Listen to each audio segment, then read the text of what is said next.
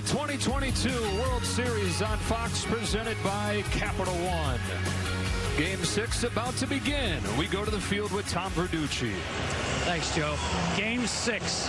Two words that capture the patience, perseverance, and heartbreak of Dusty Baker. In 2002, his Giants had a 5-0 lead in the seventh inning, ready to capture the World Series, and lost. The next year, his Cubs, trying to win the NL pennant, had a 3-0 lead in the eighth inning and lost. Last year, his Astros against the Braves in the World Series, eliminated. Dusty Baker is a man of faith. He's an avid fisherman, a music enthusiast, but has been defined too much by what's missing. No man has managed more games without winning the World Series. Tonight, his 25-year journey brings him back to a Game 6. A chance to change history, a chance to make history. Joe. Tom, you mentioned he's a big fisherman, and he said, you trying to get that fish into the boat. Those are the toughest moments. Taking the last breath out of anybody is so tough. And so he knows the job is far from finished. But he feels like he's got the right man for the job. Framber Valdez, who started game two, on the mound here for game six. And what a difference a year makes for the youngster. Two games in the World Series last year, he said the emotions got the best of him. He failed to make it through the third inning in either of those starts against Atlanta. But then game two of the World Series against the Phillies, pitched into the seventh inning and dominated that game, just the one run. He's faced them twice over the last month. And, John, he's struck out 19 over 11 plus innings. Yeah, this guy's turning into a bulldog, and he has a tremendous sinker, a lot of ground balls, but he has great balance, and really he's learned to have a great heartbeat on the mound. And if you're a game watcher or film watcher, you're going to want to do the same thing he did against the Phillies to have that success. Don't change a thing. Lineup that'll face off with here in game six will look like this. With Kyle Schwarber to lead it off, and then Hoskins and Realmuto. Harper, Castellanos, and Bohm. Jean Segura is the seven hitter and second baseman. And with the lefty on the mound, they do go with Vierling and Sosa instead of Marsh and Stott. The interesting thing is his last game we were talking about it was his highest velocity he's had all year. So that RPM was revved up. Now you can imagine in a game six this is where it starts getting the reality starts getting close to you cannot think about that if you're a game six starter up 3-2 hard not to especially when you know team is one way away from winning a World Series. And you've been on both sides of this, both facing elimination and with a chance to clinch. What's the difference emotionally? Well, emotionally, when you're having an elimination game like, let's say, Wheeler, your room for error is low. Your leash is quick, and you just want to pass the baton on to the guy waiting for game seven. If you're this is if you're Valdez, this is when you get selfish and say, I don't want anyone else to pitch after this game, and you take it in your own hands.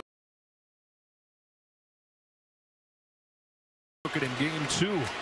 Going six and a third, and he faces Kyle Schwarber to get game six started. And normally I'd say see how the game's going if you're Kyle Schwarber, but the way that he was pitched to last time, got a lot of fastballs early. I would say like he did against Verlander, it was the second pitch. But Schwarber should be ready to hit a fastball in this at bat early in the first two pitches.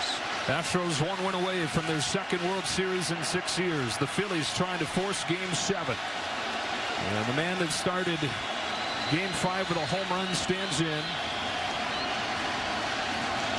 Valdez rocks and fires, and off we go with ball one. And immediately, John, you see the home plate umpire Lance Barksdale not giving Framber Valdez a low strike, a pitch that he needs, and Barksdale typically does not give pitchers many low strikes. Right, and what Valdez is going to have to do is just keep the pressure on low in the zone.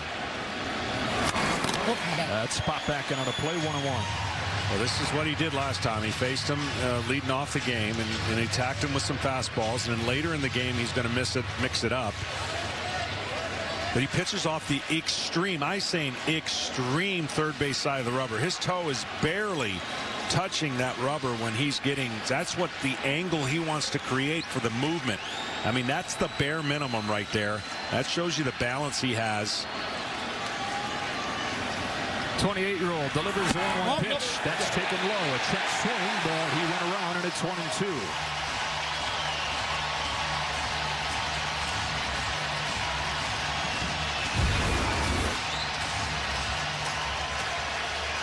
Hmm. A lot of movement, but maybe the barrel stayed behind the plate. On a 1-2 pitch, Schwarber takes Oh, he was headed back to the dugout thinking it was strike three. I think everybody thought it was strike three besides the one guy whose opinion matters, Lance Barksdale. Wow. I mean, this is this is this is a two-step, not a song. This is not a song, but this is he's like, okay, all right. He better swing, I think, on this next pitch yeah. if it's close. All right, so a gift for Schwarber. Can he take advantage? On 2-2. That's ball three. And that is the first curveball from Framber Valdez. Only 12 of the 42 curveballs he threw in game two were in the strike zone, but the Phillies chased half of them. Yeah, they did, and that's that's how good it is, and that just speaks to him. And he's got to shake that off. He can't let this affect him. Here's his payoff. And he winds up walking Schwarber. So perhaps a key call in the first plate appearance of the game, and instead of a strikeout, it's a walk. Well, uh, and I know a pitcher is going to get frustrated because your mind knows that's a strike and you put it to bed already. And he wasn't able to really. He made some good pitches. All right, now that's strike three, but you got to make a couple good ones. He let that one out of the zone, and then this one inside. But you cannot let this snowball into a big inning. And this is where experience will pay off of having gone through certain things before. And that is where Framber Valdez says the biggest growth has been his ability to move on from things that don't go his way. He immediately deuces a bouncing ball to get the out at second, and they turn two. Framber Valdez needs just one pitch to erase it. And it was a good pitch because you knew that Hoskins wanted to get something going. He has been really struggling at the plate, and he throws him a good sinker, and all he can do with a good sinker is bounce it to a defense that's outstanding, and that's an outstanding double play. They've been tracking ground ball rates for 35 years. Framber Valdez has the highest ground ball rate for a starting pitcher since they've been tracking those things. The Phillies in game two only hit three balls in the air. And so a lineup that's relied on home runs for a lot of the season, they're facing the guy that limits them better than anybody in the sport. Yeah. Well, this last at bat that JT had in his last game, they're hoping that that translates into a more typical at bat. Oh. You were talking about it. He needs to go the other way, and he did, and almost helped them come back in that game. That click of the bat, sometimes the sound, the feeling can get a hitter going, but it's the approach that'll get him going, and that last at bat was really good. And the issues you're talking about, Realmuto's one for his last 17 with 11 Ks. And again, we talked till I mean, this guy, you got to believe that catching every game and just the, the, battle he's been through has affected him a little bit offensively. Something has to give. He was the hero in game one here. Tied the game with a double, won it with a homer.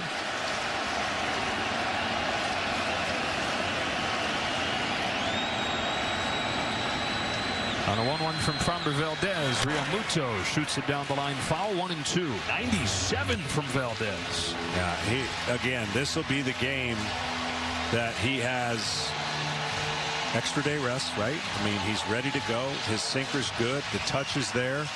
He passed the first test of a tough at-bat to lead off the game, got a double play ball, but he is juiced up, no doubt. Home with a one-two.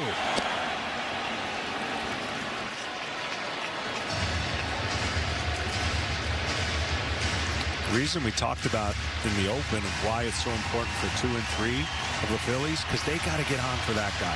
There hasn't been a lot of action for him, and the, and the Astros have pitched him perfectly, but the reason they can do that is no nobody got in front of them for the most part. Well, the Phillies had seven runs in game three, the game where they tied a World Series record hitting five homers, but just two runs in two games since. On a 2-2 pitch, Realmuto takes ball three, and actually that hit him, and he's on.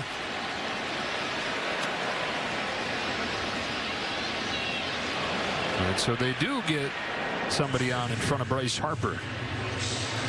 Well, this will be interesting with two outs. Uh, they faced each other, obviously, in game two. And you see the curveball that catches the top of his foot. When he faced Harper, he threw him a lot of fastballs early and got him out with curveballs late. So will Bryce be ready for a fastball on this first pitch, if that's the same game plan? He's hitting 373 this postseason. The only game during this postseason run Harper didn't reach base was the one against Valdez. First pitch. Got a fastball. Grounded it right side. Sliding play, Jeremy Pena. What a postseason run this kid's having. Scoreless top of the first from Framber Valdez. Buzz Ken Rosenthal reported off at the top. Yuli Gurriel is not in the game. He injured his knee in game five. So Trey Mancini starts at first base. Christian Vasquez catches. It's the first time all year the Dusty Baker has sent this lineup out there. And he does so with the Astros looking to clinch a world championship against the guy they saw in game two in Zack Wheeler. This guy, John, was overpowering and a big part of the reason the Phillies made it to the World Series. But in his World Series debut, wasn't the same. Yeah, he wasn't the same. He had ran into a little bit of uh, tough luck, too, when you talk about ambush early. And that really set the stage for the game, and he never really was able to recover, and his team didn't really score. So look for him to make some adjustments early. I, I still he went fastball in to Altuve. I would not throw a first pitch fastball in. That's for sure. Yeah, that'd be a good place to start. Yeah. And you're going to be taking a look at the velocity. 97 98 is where Zack Wheeler wants to be. He was at a season low 95 in game two. Here's the guy you're talking about that was the first to ambush. Altuve doubled on the first pitch of the game and came in to score one pitch later. Ball one at 98. Extra day rest and his ability to look at film and see his mechanical adjustments he needs to make. Jose Altuve hitting 346 over his last five games. Watches the strike 99 and it's one and one and Altuve to you looks like he's back to being himself. Yeah he's hit some mistakes which has gotten him going uh, but if you stay outside you got to make him still beat you to right field if you're any pitcher in the game today beat make him beat you to right field. One and two. Nice looking breaker. I would think the breaking ball comes out a little earlier than normal for Wheeler. He likes to put that in his back pocket and show it later. But right now he's pitching every inning as if it's his last inning because they're in elimination game. And he knows it and wants to go as deep as he can without his manager taking him out. Home of the one-two pitch. Fastball at 98 and a good sign for Wheeler and the Phillies with that fastball up in the high 90s again. So one gone in this first inning. Here comes the splendid rookie Jeremy Pena, who continued his fantastic World Series with a nice defensive play to finish the top of the inning. I mean, that's a great play. If Altuve has to make that, he's not going to throw out Harper. And his short hop right in the grass. No big deal. Makes the play and got his team to the plate. Coming off a three-hit game in Game 5 where he hit his fourth home run of the postseason. He's hitting 381 in the World Series. And he's making a push to become the first rookie position player ever to win World Series MVP. He's having a fantastic adjustment. I call it in-bat adjustment, meaning look bad for two pitches, and then with two strikes, slow everything down. Bounces this one to short, Edmundo Sosa. Well, we're going to see two pitchers that pitch differently in the sense of not only their repertoire, but where they stand on the rubber. We talked about Valdez, farthest part of the third base rubber. Well, you've got Wheeler on the first base side of the rubber. But here's the difference. They're going to land close to each other because Wheeler throws across his body, which creates that extra spin and hop to the hitter. So even though Valdez pitches over there, they get close to where they land on opposite sides of the rubber. Across his body and Anya with that 6'5 frame. Uh, that's the that's we talked about how he goes downhill and so far the fastball is not skipping a beat that's for sure. Couple big dudes facing off here. Yordan Alvarez with the bases empty and two gone. Swats the first one left center field slicing to Kyle Schwarber he's got it and on seven pitches Zack Wheeler with a one two three first sponsored by Dell Technologies. Will stop at nothing to bring out the innovator in all. And by Capital One. What's in your wallet? A game six has been a special one in the World Series. 1975. Carlton Fisk in the bottom of the 12th. Willing his ball fair. One of the iconic home runs in World Series history. Second inning, no score. Nick Castellanos leads off against Framber Valdez. Use a double play ball get around a leadoff walk in the first inning, and he's in the dirt with a curve to Castellanos. Well, so far, it's been a decent approach by the Phillies, meaning Valdez has thrown now five curveballs, none for strikes.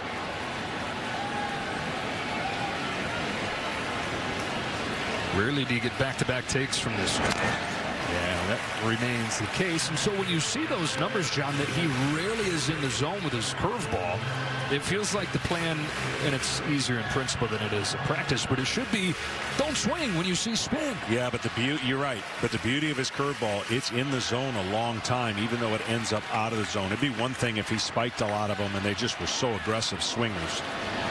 Three straight curves, one and two, and the last two have been in the strike zone. And he just has such great feel, and the way that he throws, you know, he's the short striding, kind of over the top. Great feel for pitching. And he just puts the hitter in a defensive defensive spot because there's nothing mediocre about his pitches that you could sit on. Home of the one-two. It's four straight curves. Castellanos bounces that one just foul, and he was going to reach had that been fair.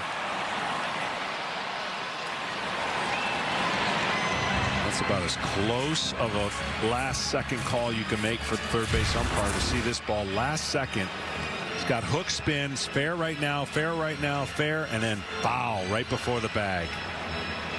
Good call. Whew, that's close. Yeah. Then I was showing you with conviction. Yeah, and you're getting blocked out by Bregman, so great call there. Really, it's been been a great postseason for the most part. Mm. Nothing really. The umpires are all doing their job. It's a tough job. Nothing really super conf confrontational. Another one-two pitch. A fastball, and he gets the call down there at the bottom of the zone. One gone in the second on his first K. Let's take a look at the Astros defense here for game six. How about the play Chas McCormick made in game five in Philadelphia, flanked by Alvarez and Tucker. Bregman and Pena left side of the infield with Altuve and Mancini. For Trey Mancini, his first start at first base since October 5th. He hadn't played first base period since October 5th when he came off of the bench for Gurriel in game five and made that great play to keep the Astros in front. One away, Alec Bohm. Line drive base hit. First hit of the game for the Phillies. And it comes from Alec Bohm with one away in the second.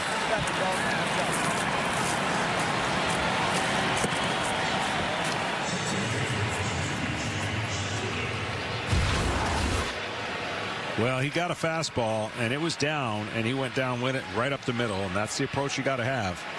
Easier to said than done when you come up with game plans on paper, executing them totally different thing.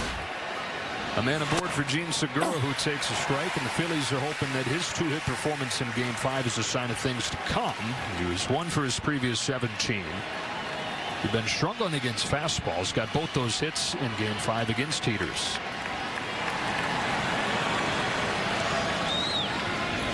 Oh. One and one. Good stop Maldonado.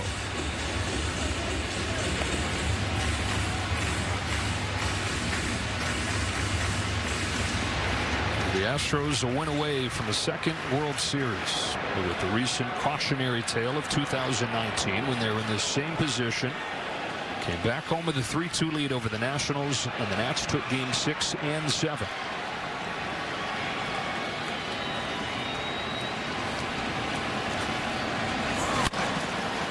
One and two.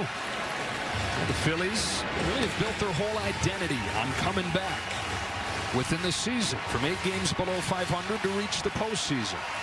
Within games, I mean, this postseason's dotted with comebacks. Most recently, game one of the World Series from down 5 nothing, And now within a series, down 3-2, facing elimination. Can the fighting Phils do it one more time?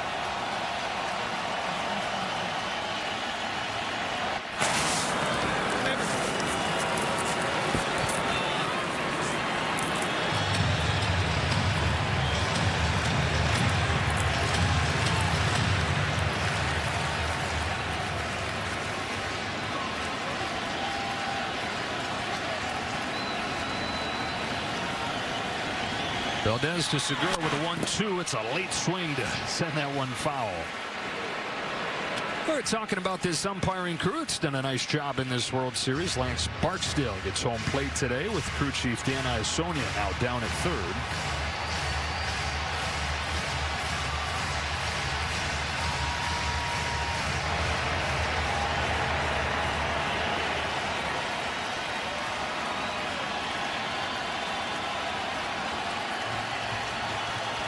On the Phillies order trying to get it done here. Runner at first, one gone, one two pitch.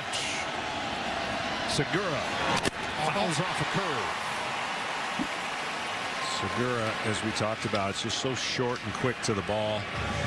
Doesn't look like it's something you would teach most hitters, but man, does he get it done, and he can find the barrel and get a lot of base hits.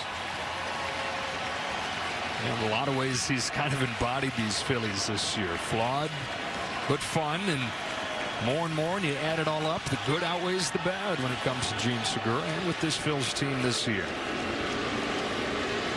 It's a guy that's been traded four times.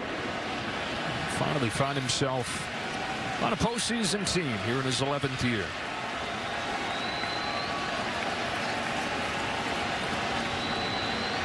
Home at first, one gone, no score, second inning. A one-two pitch again, and it's in the dirt for ball two.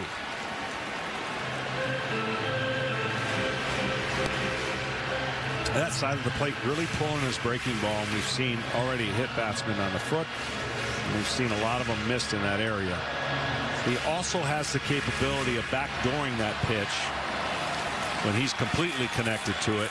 And of course, he can throw that slider a little firmer pitch if he feels like they're laying off the big breaker. And he has loved that big breaker, that curveball this postseason. More than 40% of his pitches have been the curve. Here's another 2-2. It is straight three as the curveball falls from the heavens to get Segura.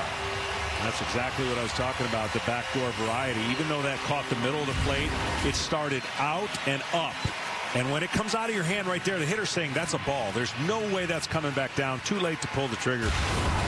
And he can get those calls when he when he's spinning it and not spiking it. He's going to get a lot of strikes and strikeouts. More strikeouts on that curveball than any curveball in baseball this year. Two out second inning, Matt Vierling Playing time in the postseason has been hard to come by. He starts against left-handed pitchers. He's gone two for 12. 1 0.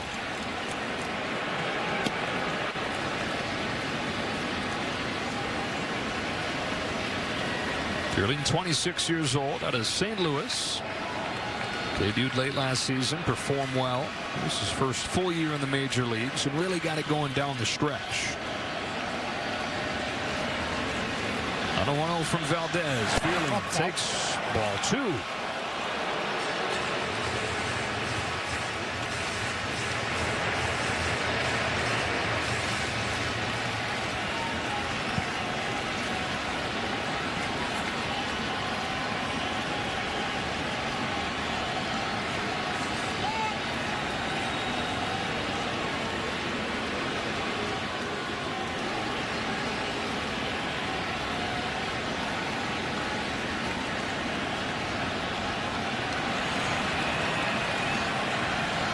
First, 2-0 to the plate.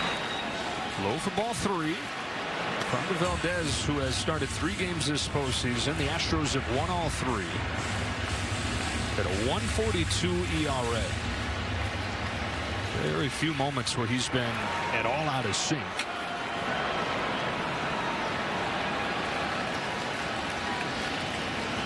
Left-hander in his fifth year has gotten better and better. And he misses ball four. Four pitch walk to the eight hitter Vierling. Second walk issued by Valdez. Well, it's been an incredible series, and you still have a chance to win 25 grand of Big Papi's money tonight. All you need to do is pull out your phone, get the free Super 6 app now, and then enter your six picks for tonight's game. Bell puts him at first and second for the Phillies. And, John, they, throughout this postseason run, have been really good with runners in scoring position until lately, where they've gone one for their last 23. Yeah, they've hit a dry spot at the wrong time. And Valdez facing Sosa the last time threw him a ton of breaking balls. I mean, almost every pitch, with the exception of three, were curveballs. So see if he stays with that same plan. Sosa, bigger, longer swing. And if he gets a curveball up in the zone, that's the one he can do the damage. Bowman second, Vierling in first. Only the fourth start of the postseason for Edmundo Sosa. Got a first pitch fastball and fouled it off. There was some thought early on in this World Series that against a lefty, against Valdez, Bryson Stott was going to play. But since then, Stott's gone 0 for 13 during the World Series, and so Rob Thompson does what he's done the rest of the postseason, and that is go for the platoon advantage here. 0-1. A breaking ball is golfed to left center field. Alvarez back onto the track at the wall. He's got it. The park just large enough to hold it. Sky scraping drive from Edmundo Sosa. It falls harmlessly into the glove of Alvarez. Middle two in game six. No score.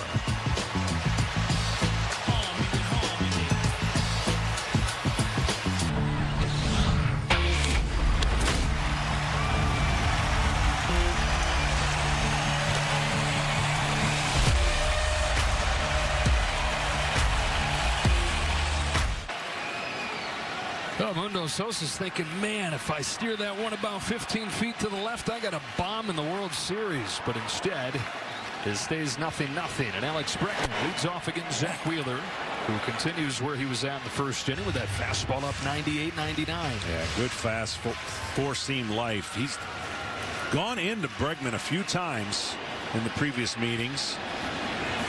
Goes in here. Bounce to Sosa. He's retired the first four.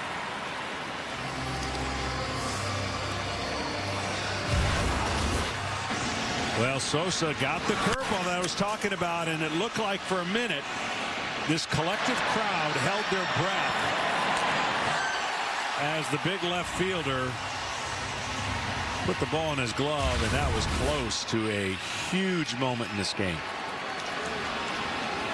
He's watching his play right now. Yes, yeah. Got back there pretty calmly, looking pretty smooth, whatnot. The one gone in the second inning. Kyle Tucker. This is the guy, if I'm Wheeler, throughout the game, I don't mess with runners on. I mean, this is the guy you got to pitch around in the lineup. Oh, he shows bunt, pops it back out of play. The reason I'm saying that, even though Vasquez is behind him, the bottom part of this lineup right now, beyond Tucker, anything you get out of them based on their performances so far would be a bonus. So an elite pitcher is going to look at that scorecard and go, okay, this is not a disrespect to them. I'm circling these guys because that's where I need to go to get outs if I get into a jam. Tucker, who hit two home runs in the first game of this World Series, has struggled since. The All-Star takes inside, and it's one and one. The Astros as a team have hit just enough, and it's kind of been what the story's been all season for. Elite pitching and enough offense. They've scored 18 runs in the five games and lead the series three games to two. Perfect, one and two. And when he's doing that, there's not a, a hitter in the universe that's going to be able to hit that pitch. And you've already seen what adrenaline and knowing that this is your last start of the year will do for you. The velocity's back to where it was before. Commanding it as well. On one two. This is up and away. And the other thing is he's actually throwing it because he trusted it so little in game two that he threw it less than he has in his three years with Philly. Right, exactly. And you just saw one of the few times he gets underneath the ball. When you get underneath the ball, you throw an upshoot fastball that's a non-competitive pitch. You can still throw it up and stay on top of the ball. Is 2-2. Check swing foul.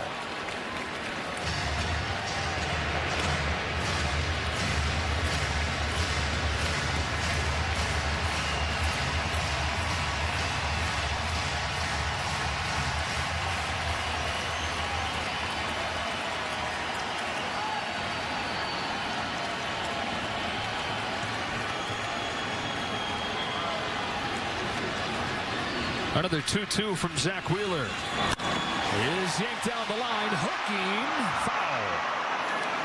Now Zack was trying to get that to the back foot, and that breaking ball was a little late and a little flat.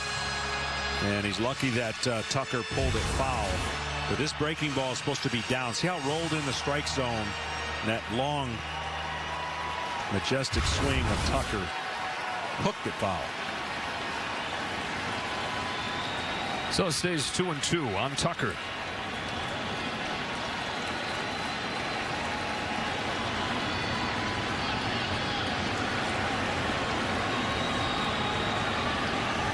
Zack Wheeler rocks and fires. Oh, Try to come to the back door and missed. he tried to he tried to throw a backdoor cutter and catch the outside part of the plate. You see on the side of the ball, if that thing breaks a little bit more, it's got a chance to get the called strikeout. Well, the guy you said you would circle in the lineup is really making him work. This will be the eighth pitch to Kyle Tucker. It's a 3-2, and it's a fastball that's hit foul.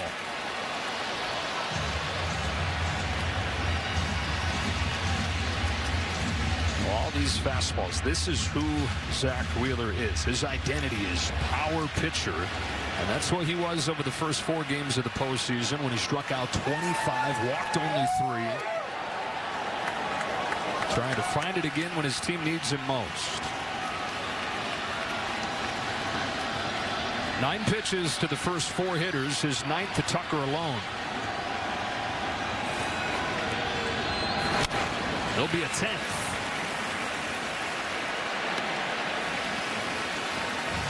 Tucker's battling. The one thing he does is he does a lot of movement in the box for his timing. You're going to see it's almost as if he doesn't have traction with his spikes and he's trying to get traction, but he's always moving the back foot and really rocking until he gets ready to hit.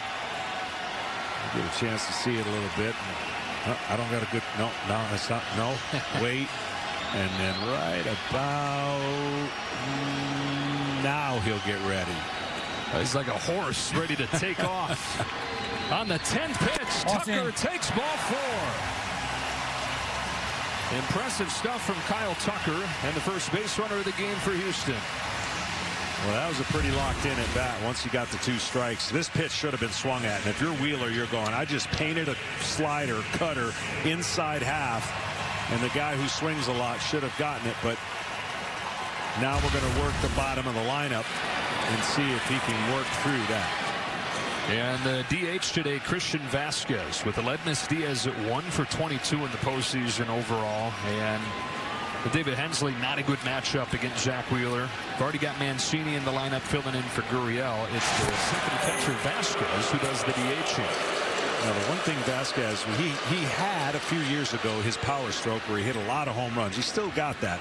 But he tracks the breaking ball pretty well, especially down. You would think that would be the kryptonite to a lot of right-handed hitters. But got to be careful with that breaking ball. You got to really, if you if you hit it well low, that means you can swing over the top when it bounces.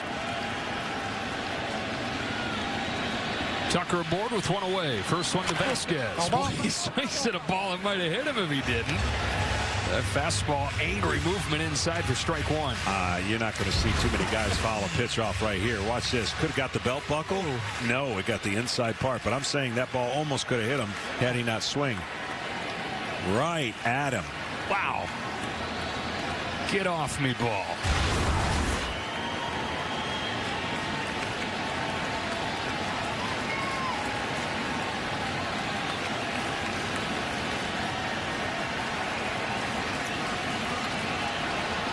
Most of his strikeouts are going to be inner half, inner third. That's where he was going on the first pitch. 0-2.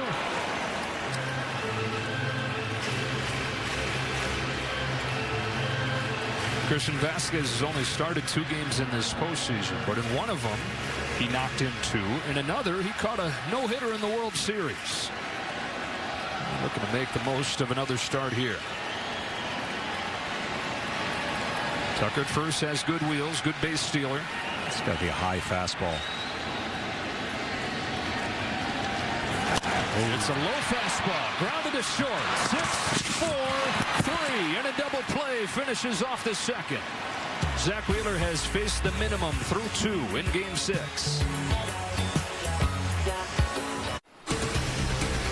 Tonight's telecast is sponsored by Taco Bell. Steal a base, steal a taco is back and by Corona Extra. Find the fine life. Live La Vida Mas Fina. Game 6 in 86. It gets through Buckner. The Mets win it and win Game 7 to keep the Red Sox drought going. Kyle Schwarber to the plate, we go to the field with Ken Rosenthal. Well, guys, we've talked a lot about Kyle Schwarber's leadership. He and David Robertson, most postseason experience on the Phillies. They both spoke briefly to the team after Game 5, saying, guys, it's not supposed to be easy. Play our game one pitch at a time. And this is a guy here in Schwarber County who's been in this exact situation of four before, of course, with the Cubs in 2016. They were down 3-1 and then eventually down 3-2 on the road for game six and seven and then went in there to Cleveland and we all know how that went. And so passing on that experience.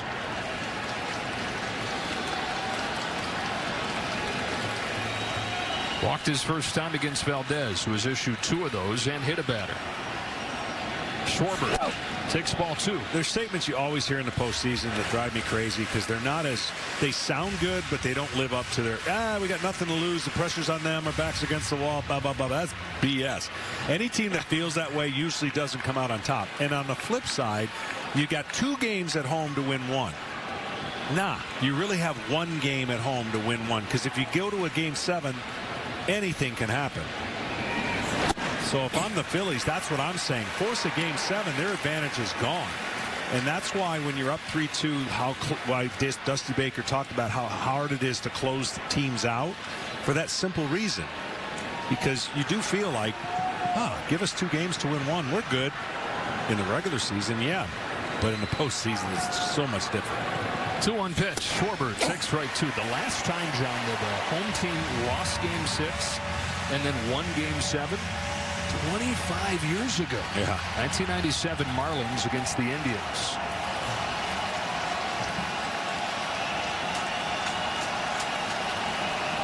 First year manager Rob Thompson has gotten them this far.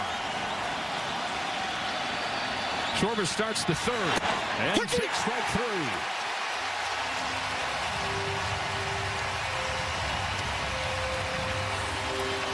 That almost looked like Schwarber was looking for another pitch, didn't get it in the guessing game, and just got completely froze by the pitch on the outside Going into this inning, Valdez had not thrown any four seamers or changeups. Look for that to change a little bit as far as that changeup coming into play as the game plays on. And now back into that part of the order that you've pointed out, the Phillies have to have to have a shot. Strike on Hoskins. Yeah, they, they've got to do anything. Walk, hit batsmen like Realmuto was able to do. But th this part of the lineup is supposed to be the meat, and the offense clicks through Harper. What's up? No swing, 1-1. But when your two most reliable right-handed hitters are something gets them going. A bloop, a crack, a crack bat, an infield hit.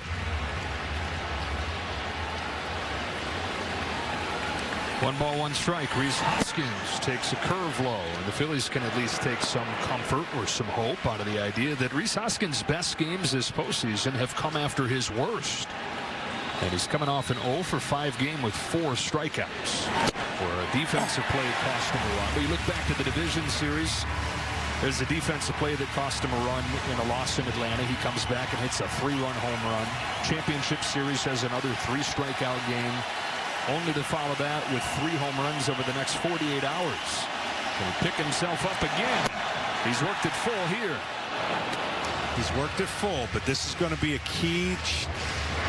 If he expands the strike zone here on 3-2, he's still got to stay disciplined. If you're Valdez, you think he's going to swing, you can throw anything you want if you think he's going to swing. It's a fastball. It's bounced to third, but it's just foul. It's the second one, John. We've had right down there on that line.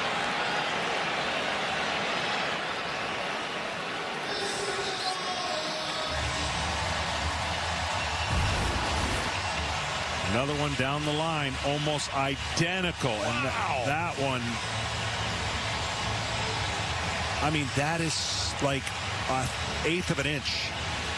It's a credit card. Yeah, and I have Sonia right on both.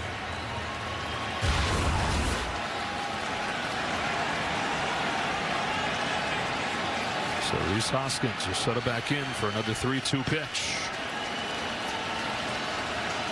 No score in the third inning of game six. Phillies trying to force game seven. Astros will win away. Valdez turns and deals. Hoskins watches strike three. Curveball falls in there to get him.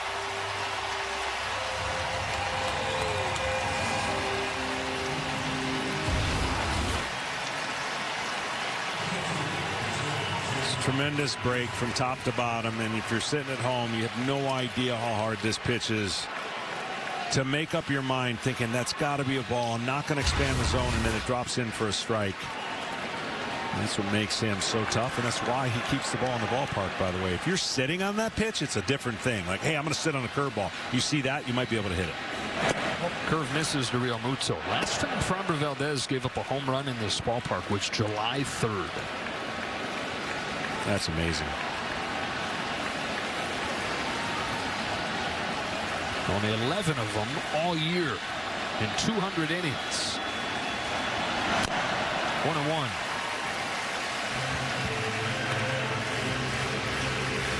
For a guy who didn't get a pro contract until five years after he was eligible to get one in the Dominican Republic. From anonymous prospect to an intriguing one with that curveball. Debuted when he was 24. The first couple years, though, wasn't like he showed up and was dealing. He had an ERA above five his first two years. He was back and forth between the big leagues and AAA. Didn't become a full-time starter until 2020. And now in his third year, all-star for the first time. Putting their hopes on here in the World Series. His 2-1 pitch is a fastball for strike two, and that is played up over the first few innings. It's just amazing because he, he doesn't look like he could possibly throw 97 as effortless as he makes it look, and it's just on the hitter. And the hitter is trying to get a mistake. He didn't have many tonight so far.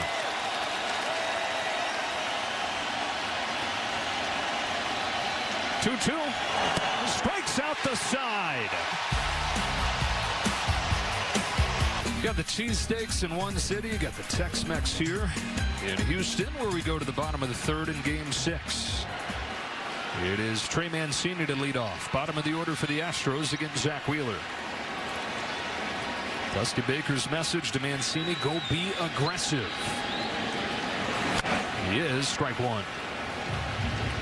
Aggressive with fastball at 99. Hey, well, we got a chance. I want to give a shout out to Braden Scott. He's dealing with some tough stuff. Young boy, diagnosed with Hodgkin's lymphoma. Originally from Houston, big baseball fan. We're pulling for you and praying for you, young man. The one pitch to Mancini is bounce foul. He's got a great guy to look up to here for inspiration and Mancini, who Absolutely. is two years removed from beating stage three colon cancer and playing in the World Series. His whole focus was on beating cancer. He wasn't thinking about getting back to playing baseball, but he beat it. He got back, and he's doing what he says it still doesn't feel real at this point.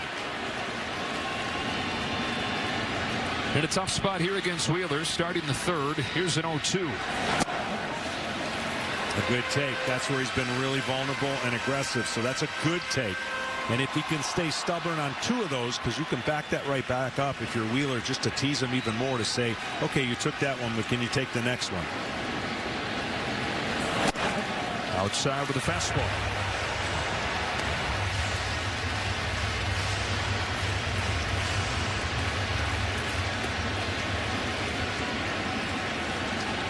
One strikeout, one walk, no hits against Zack Wheeler so far. Deals 2-2. Cracks his bat. That's foul. Mancini still alive, but the bat's not. Gonna go get a new one.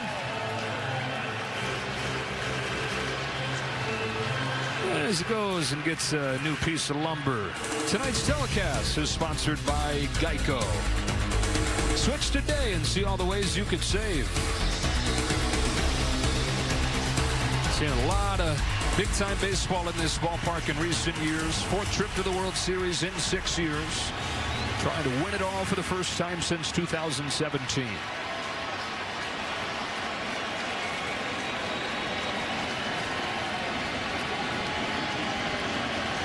Mancini's got a new bat. Waits on this 2-2. Fastball. Shot to right base hit. Trey Mancini with his first hit of the postseason to open the third. It snaps an 0 for 18 and understandably brings a big smile to his face.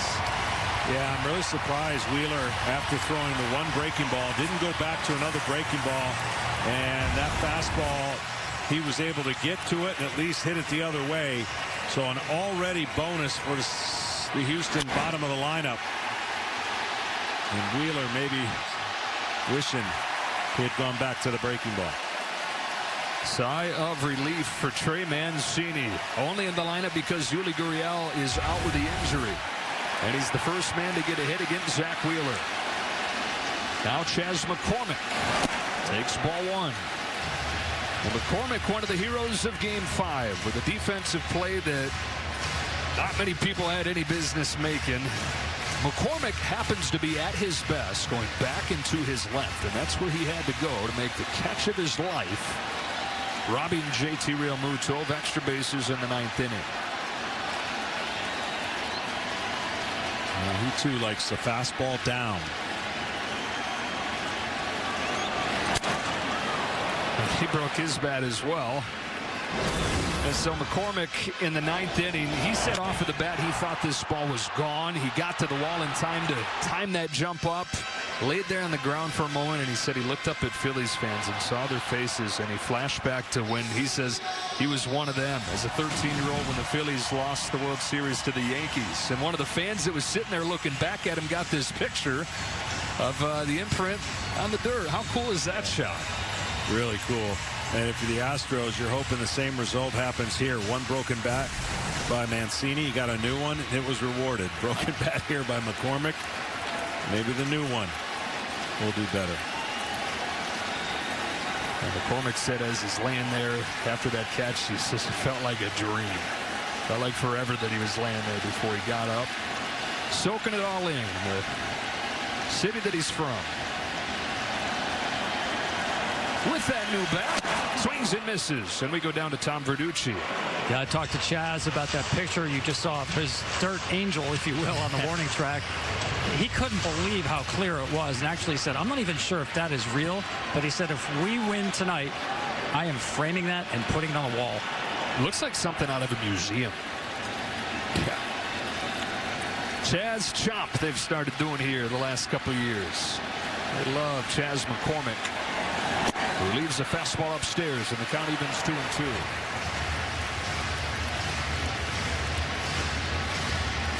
Debuted last season, really a platoon player for the better part of his two years in the major leagues. At one point this summer was getting sent down to AAA. They called him back because of an injury. And he has seized center field here in this postseason run. On a 2-2 from Zack Wheeler. He takes ball three.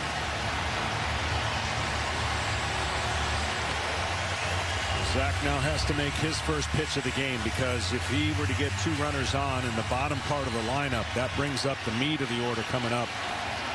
And the recipe for Houston's been pretty simple the last two games. The top five guys have really delivered offensively. That's why this part of the lineup, Zack has to go through and can't create a lot of traffic for Altuve. Mancini single. Now McCormick on 3-2 breaks his bat on a roller back to Wheeler. Out at second. Safe at first. The degree of difficulty for Zack Wheeler right here is pretty incredible. This bat, if we're not mistaken, went right over his head. So survive and then make the play. Watch, the bat goes right over your head. He has the presence to pick it up. You can understand the throw is not perfect because He's got a bat flying over his head. Jeez. And he's able to make that play. Great pitch, great concentration, and almost doubled up a really fast runner. He's going to have enough uh, wood for a bonfire here soon. He's broken three bats in these uh, two last at bats. So he does get the first out. Now the nine hitter, Maldonado. Now Maldonado has twice been able to have a hit and run slash base hit to right field when a runner's been on first in motion. Strike one. 36-year-old in his 12th season looking for his first ring.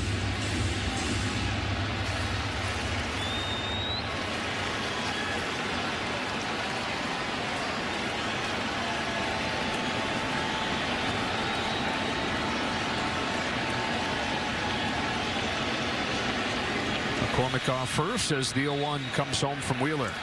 Maldonado oh. takes inside one and one. You can see Wheeler really trying to get inside to most of these hitters. That's where he likes to throw his seam, two-seamer. He's got great action in there, and that is why we're seeing some broken bats as well.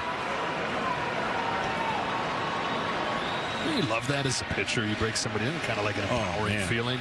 There's nothing better other than a double play, but he almost got both at the same time. Top of the order looms as he fires the 1-1 pitch. Bounce gently. Alec Bohm's got to hurry just in time, and he can thank his lucky stars that the catcher was running. I'll say that is understandable from Maldonado, who's squatting behind the plate, and then you're asking him to beat out an infield hit.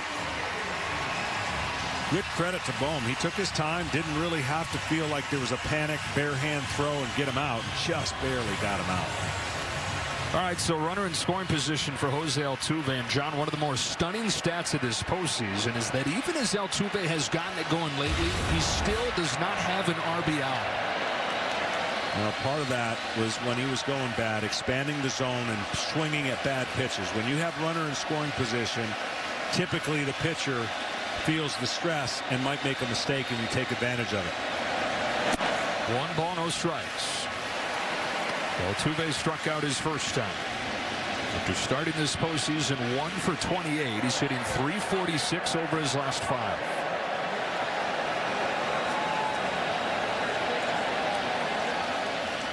Longest tenured Astro, the face of this great run. Trying to put him in front in game six. He's ahead 2-0. uphill with those fastballs, two in a row now. On this 2-0 pitch, for me, uh, Altuve would have to hit a breaking ball here. I can't afford to come in the zone with a guy who loves the swing and rarely takes two pitches in a bat in a row, yet alone two. So see if Wheeler tries to spin something on the outside part of the plate with a base open. Your antenna going up with those back-to-back -back takes.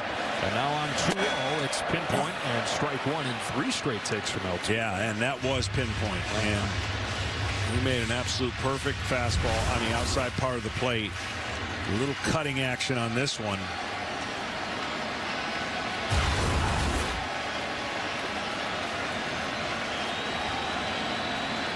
McCormick at second, two gone, third inning, two one pitch. Altuve, strike two. All fastballs. Two and two on Altuve. And you'll notice the last couple pitches, JT started out in and then moved away. See that? That's in case the runner's given location. So you kind of deke the location. The pitcher knows where it's going to be. And at the last second, the catcher gets to the desired spot. And two great pitches. Down in the count 2-0 now even. Scoreless game here on thin ice with a two-out chance for Altuve. Fouls it off as Wheeler sticks with the hard stuff against one of the best in the game at hitting fastballs.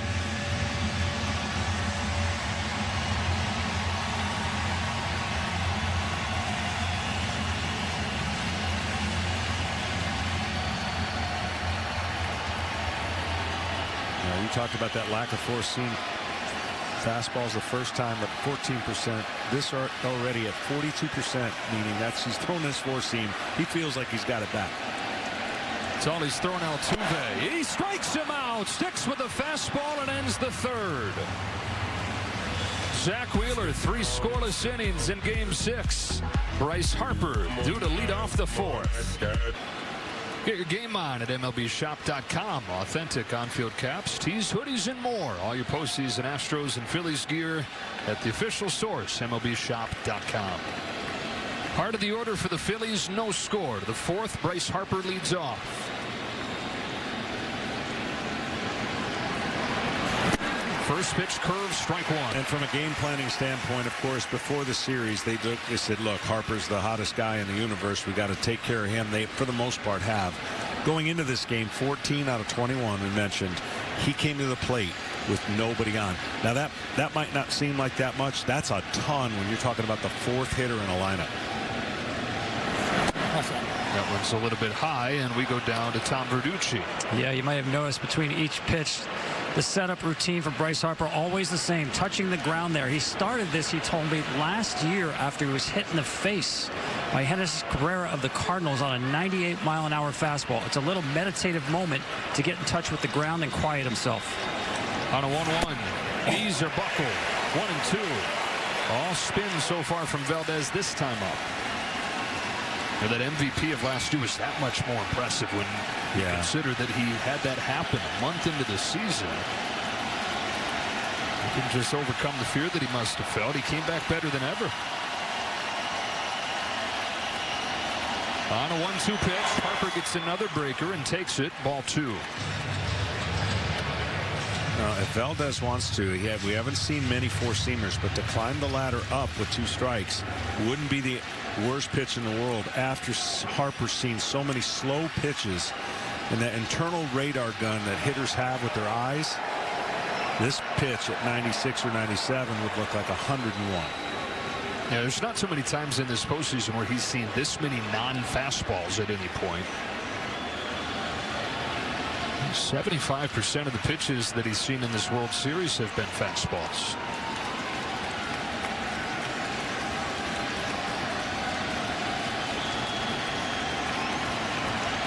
On a 2-2, Harper swings and misses. It was a fastball, and it was in on him. And strikeout number six for Framber Valdez, including his fourth in a row. Yeah, it's just so nasty after seeing breaking ball, breaking ball, breaking ball, and then he heats him up. Two-seamer and eats him up. Look at the movement. It's right down the middle, and it ended up being a ball, and Harper tried to get it before it got him, and no luck.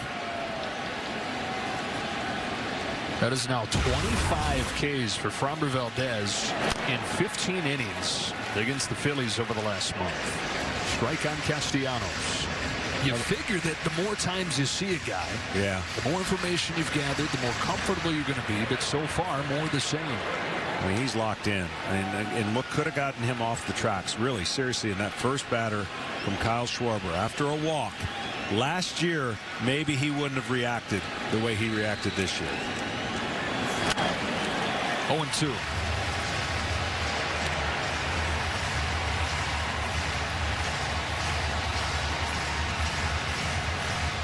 So much better mentally. All that work with the sports psychology staff, a lot of encouragement from his manager. This is one of the most important moments of his career. Was one of the first conversations he had with Dusty Baker when he was still trying to break in. And Dusty said, hey, you got a chance to be a big-time pitcher for us. I believe in you. Now you got to believe in you.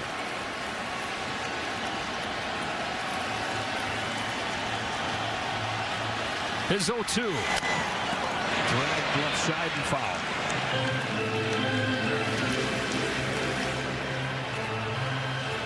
Well, the disparity between his slowest pitch and fastest pitch is pretty dramatic.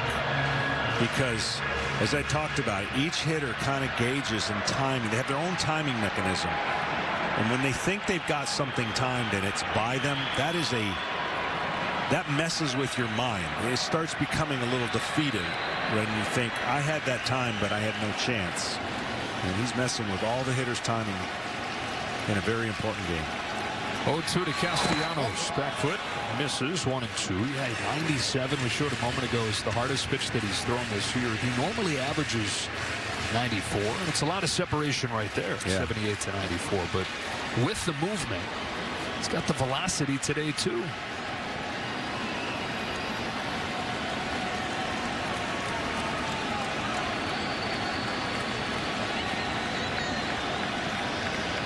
Shakes a few times and step off. Well, 19 miles. That's the spread between fastball and the slowest pitch.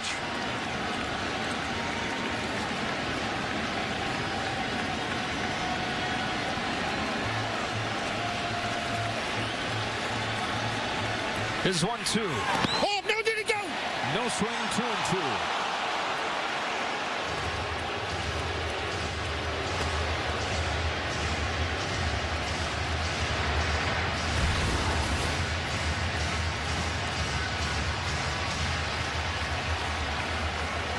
Almost hit it on the bounce.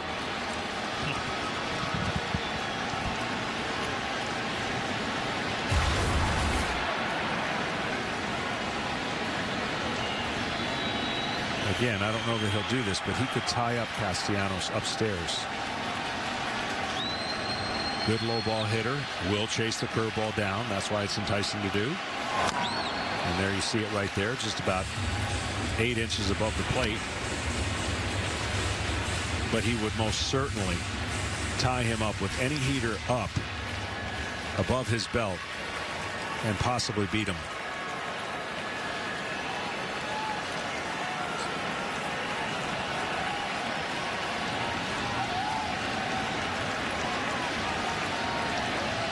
Here's his 2-2. Fastball poked down the line. Foul. A lot of the play with that one. Yeah, he was late. If he could have got it up higher, then that would have been more of the swing and miss. But now he's at least reset him. What I mean by reset him, he's gotten that area of the pitch up that he went and swung at down the middle. Now a breaking ball off that same height might entice a swing out of the zone here on a 2-2 count. Eighth pitch coming to Nick Castellanos. Scoreless fourth inning. Another 2-2 from Framber Valdez is in the dirt. It's too low. And it was the right idea, but he started it too low, and he knows it. He still has an aggressive hitter on a 3-2 count, so you still don't have to just throw a strike here. He makes a better breaking ball pitch here on 3-2. It'd be hard for Castellanos to not want to swing at it. Payoff pitch. Spoils it. But see what I'm saying? Like, that's a guy you put down on your scorecard go, he doesn't want to walk right now. And if he doesn't want to walk, I don't have to throw a lot of strikes. Now, he did get him to three and two, so he's done something right. But that pitch was by far ball all the way, and he fouled it off. How about Castellanos, though, John? Working these long at bats yeah, the last he's couple getting games. closer and closer to the hitter that I think, again, next year is going to be a total different hitter for the Philadelphia Phillies. He's a beast the last couple years. Hit 34 homers, above 300 average last year with the Cincinnati Reds. Only 12 home runs in his first year with the Phillies, and none so far in the postseason. Another 3-2. Strike three called. He went off of the inside corner to ring him up. Castellanos got to be careful here. Although he certainly has Castellanos, taller hitter, and he knows that that ball's down and possibly inside. But the little hesitation and fastball definitely off the plate. He's going to go back and check that iPad and be verified. But an incredible bat, and now five strikeouts in a row. And now you know, Castellanos saying that's why I swing all the time. Right? I finally, I'm patient. I have a good take, and it means I strike out. Two up, two down, fourth inning. Alec Bohm, who's got the lone hit of this game for the Phillies. Did it on the first pitch his last time. First pitch here. Here's a curve for a strike. Maldonado before that pitch just giving his starter more of an encouragement. Come on, come on, let's go. Guy Dusty Baker says is his general. Fly to right. No big deal for Kyle Tucker. That's a one, two, three, fourth inning for Framber Valdez. Pitchers duel going in game six. The People's Champ bringing us back from break. One of these two teams going to be champs at the end of this weekend. Both pitchers locked in so far. Yeah, they're both executing extremely well. And, of course, Wheeler probably doesn't have as many pitches because he's still got another half inning to pitch. And I would expect Pena to be really aggressive on this first pitch and see how Wheeler attacks him. Wheeler comes home. Jeremy Pena is aggressive. He's got a base hit on the first pitch of the fourth. And every time I think somebody's aggressive, it usually calls for an off-speed pitch. But Pena got a fastball up as he's done all postseason, delivering as if he's a 10-year veteran. Ball's up, gets on top of it.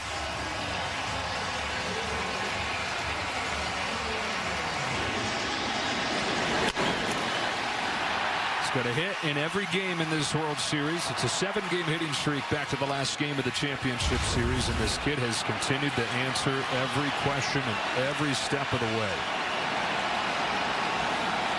He's on to open the fourth, and Yordan Alvarez is at the plate.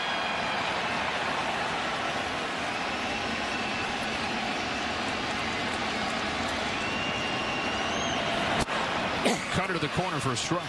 Great pitch. They've been trying to jam Alvarez and really tie him up and not let him get going. And every time you're looking at that thumper in the offense, you got to keep him quiet. And they have kept him quiet so far. Homered in each of the first two games of this postseason run for the Astros. They might not be here without him. They might not get out of the division series without him. But he's given him hardly anything since. Pops this one into shallow center for Sosa. See, I'm dropping that. I know they don't do it. Oh, yeah. You trade the runners. You put Alvarez at first, and you get a little speed off the base. Nope, Did- does that. Didn't you say you would do it? You, like you told coaches throughout your career, Oh, you had oh, yeah. a similar chance to do it. Yeah, I did it, but I blew it. Oh, no, you threw it into threw it into center. Yeah, a little different as a oh. pitcher in a pop-up bunt, but no one ever does that anymore just because I think the fear factor of, you know, somehow the guy gets on. Well, John, in game two, Zack Wheeler did settle in after they ambushed him in the first inning. And then in the fifth, this guy here, Alex Bregman, cranked a two-run home run against him. Six of those in the World Series in his career. Swings and misses. Strike one. Well, the one thing that Zack has done a great job, and it's it's kind of flirting with with fire, but when you're so good at throwing the ball in against a hitter who's so good at damage in, he's almost messing with Bregman's mind because no one pitches him like that. So if you're good in or third, you get him aware of the pitch way in and say, I can beat you in where you're really good. And so far, Wheeler's been able to do that. Well, they say nobody makes me bleed my own blood. nobody throws me. Fastballs in here. Another fastball. It's fouled into the glove, and it's 0-2. But see, that's what it does. It opens it up. We Bregman doesn't swing and miss a lot in the strike zone. I mean, it's, it's under 10%. He just doesn't. But he was able, these two pitches, to get swings and misses. Really good two-strike hitter.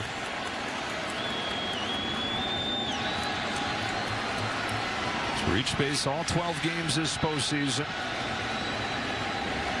Baby at first, one gone, and an 0-2 pitch. Bregman fouls it off. Now that one he got away with. And Wheeler kind of turned to the side after he threw it. That pitch was not where that needed to be. Set up inside and got it right down the middle. And lucky he got this one back. See how he set up in, but that's center cut. And the velocity just beat Bregman with two strikes.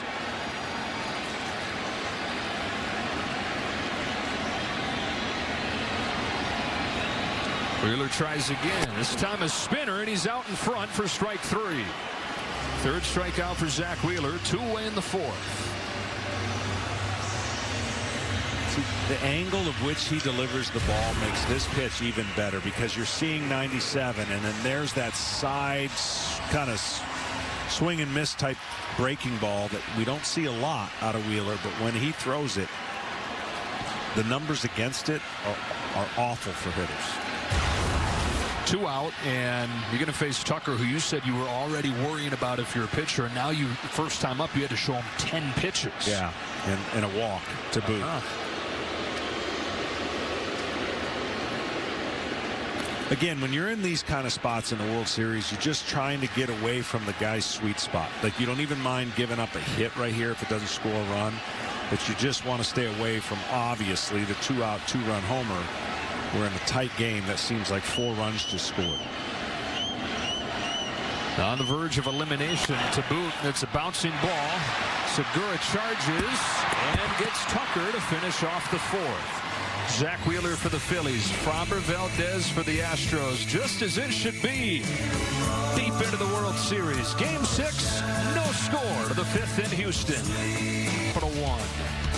No score, fifth inning, game six. Phillies trying to force a game seven. Astros on the verge of a title. Bottom of the order for Framber Valdez, who's retired seven straight. Oh, five Ks in there. Jean Segura showed bunt and pulled it back just in time. Yeah, if you're the Phillies in this on the road, you got to win the first five innings. At least that's the way you would feel. And so far, even though they're not winning, they're winning the first five innings because it's tied. Their pitchers matching Valdez. Now, if their offense can kind of scratch anything across, what a lift that would be. Segura grounds one to second. And an easy play for Jose Altuve. One gone in this fifth for every home run hit this postseason. T-Mobile's donating five grand to Team Rubicon's hurricane recovery efforts. And when you text relief to 595959, T-Mobile donates another $5. 91 home runs hit this postseason. That adds up to $455,000 in donations for hurricane relief. Robert Valdez. Unique left-handed pitcher. Ground ball inducing sinker. The swing and a miss slider. Away with the first one to Matt Vierling. And uh, speaking of unique, the only other left-handed pitcher to strike out five in a row in a World Series game, Sandy Koufax. 2-0.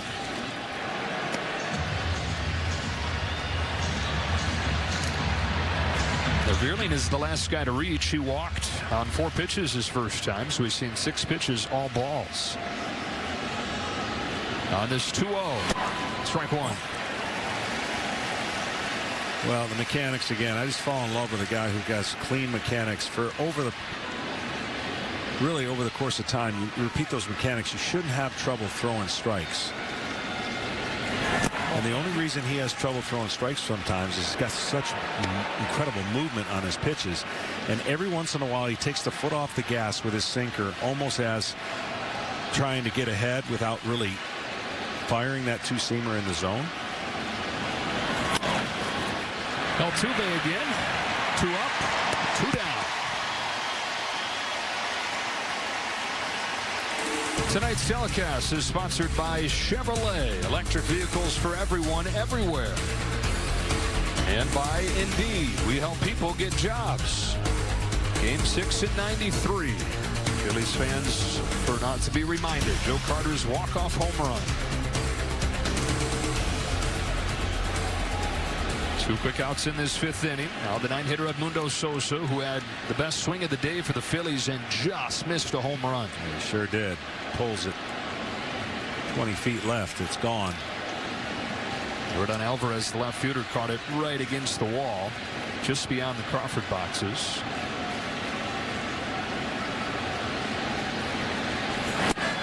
Strike one. This is reminding me of game six in 91 where Steve Avery dueled to a 0-0 game in our elimination game. We were down three games to two and ultimately won in the ninth, one to nothing. But when you have two pitchers doing this right here, you know the hitters are feeling the pressure too, saying, ah, man, just scratch a run and let our bullpen late go to work.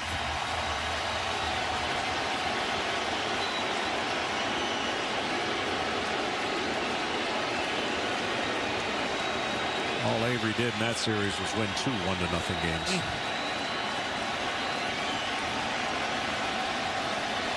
Framber Valdez, a gem of his own. Home with an 0-2 pitch.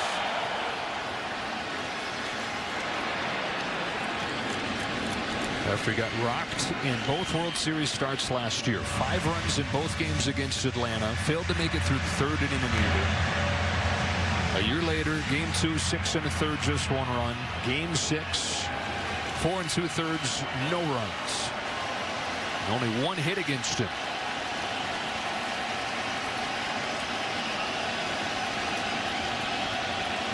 Another 0-2 pitch.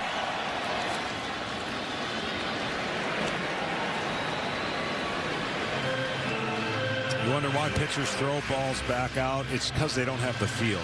Not every baseball is particularly the same. And when you've had a baseball in your hand your whole life, you could blindfold every pitcher and you can know if it's oblong, if the stitching is too high or what have you. And you can tell he's sweating pretty good just trying to get control over everything here and, and have another potential clean inning. Here's one, two.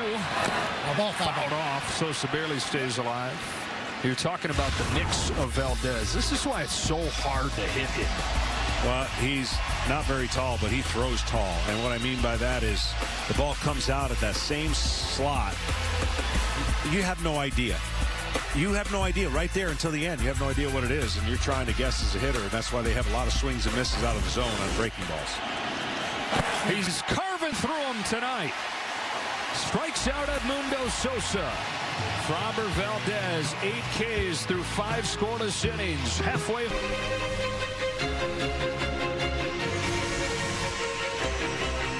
Now the hardware is in the house tonight. Astros trying to win it. Phillies trying to force a chance to win it tomorrow. And these two starters back and forth tremendous. Tonight's telecast is sponsored by Progressive Insurance. A grand slam for your budget.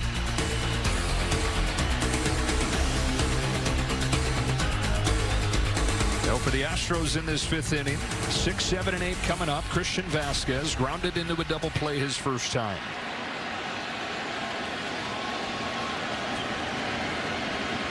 Wheeler comes home.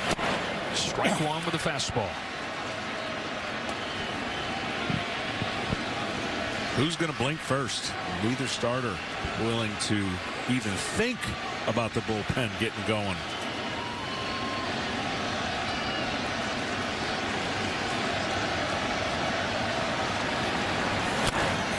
Over the mound, waiting at second, Jean Segura. And Vázquez the first out of the fifth. Up comes Trey Mancini, and we go down to Ken Rosenthal. Well, Joe, Dusty Baker's powers of observation are second to none. Late in game five, Trey Mancini took a 1-1 fastball for a strike. And Baker noticed that from his body language, Mancini was caught in between. The two talked about it today. Baker told him, trust your instincts, have a plan, stick to it. You see that conversation earlier today. And after he started the postseason 0 for 18, a base hit, first one against Wheeler, his first time up.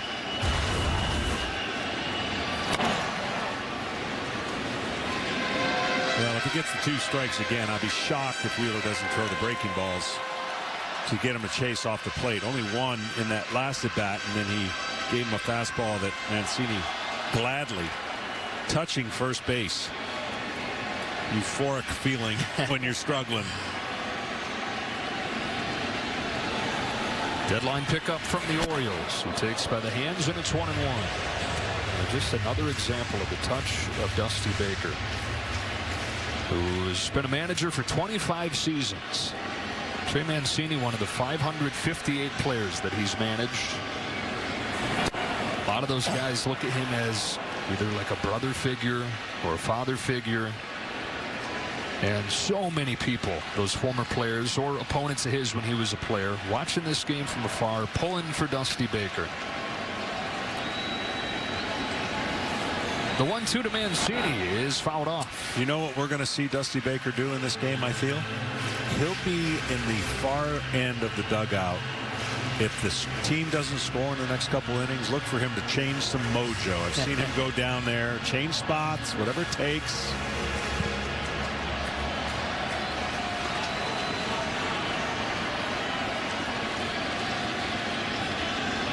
Another one, too. Oh, nope. The day that he took the job in 2020, Dusty said, this is it. This is my last hurrah. This is my last chance to accomplish the goal. And now in his 3,981st game as a big league manager, he's one win away.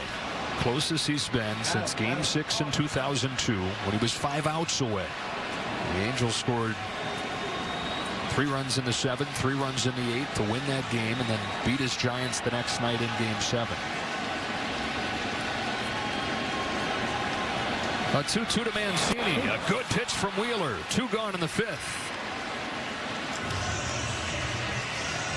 We got a full slate of NFL action tomorrow on Fox, highlighted by Seahawks and Cardinals. Check for the game in your area. Then on November 13th, one of the biggest games of the year in the NFC. Historic rivals face off in Lambeau, and the Cowboys take on the Packers. You know what I never asked Dusty of all these times we get to talk to him? Uh-huh. Are those flavored toothpicks? You ever had a flavored toothpick? Yeah. Fantastic. Way better than the wooden taste. I would concur. Chas McCormick with two gone. Takes a strike.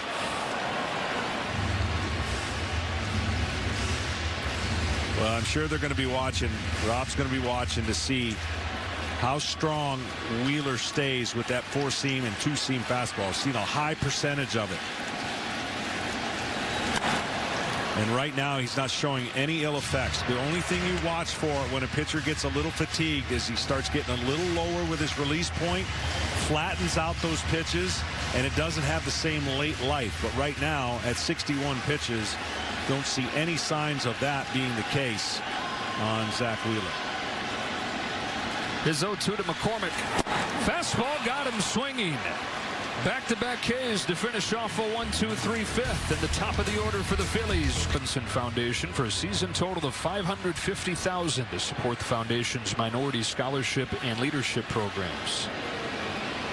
No score to the sixth inning in game six. Top of the order for the Phillies. Kyle Schwarber to lead off against Framber Valdez. Well, it's not desperate time yet for Philly, but the way this game is going and each pitcher being on their game and the bullpen that's waiting, you would think in this inning right here, set up for the Phillies' best chance of scoring, and they really haven't had much.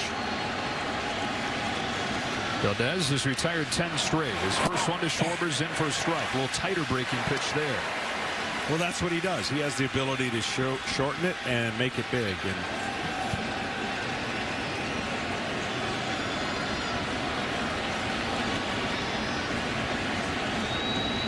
His 0-1.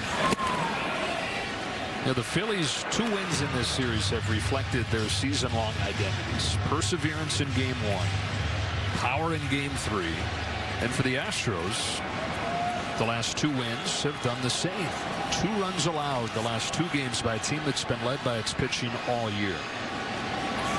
Valdez doing it again here in game six ahead of Schwarber one and two. Yeah, Schwarber's been in between tonight and you can't blame him because it's tough to hit when this guy on the mound is as good as he is. And Schwarber, the only way to really kind of combat that is to think the other way, but that's not who Schwarber is. He, we've already seen the 490, 488 foot home run pull side. On a one-two pitch, he takes the ball. Because the reason I say that, if you don't understand that at home, is if a hitter is thinking middle to away, you stay longer and wait on a breaking ball. But they don't want to get beat on fastballs. So staying longer and waiting, and the fastball comes, you're, you're late. So every hitter will tell you, or most will tell you, I'm on the fastball, adjust to the breaking ball. Eh, well, with a guy like this and the amount of breaking balls he throws, sometimes you go up there sitting on it and get success. Let's see on 2-2. It's a fastball, and it's cranked to right field, and it's gone! Astros blink first. Schwarber with a blast, and it's 1-0 in the sixth.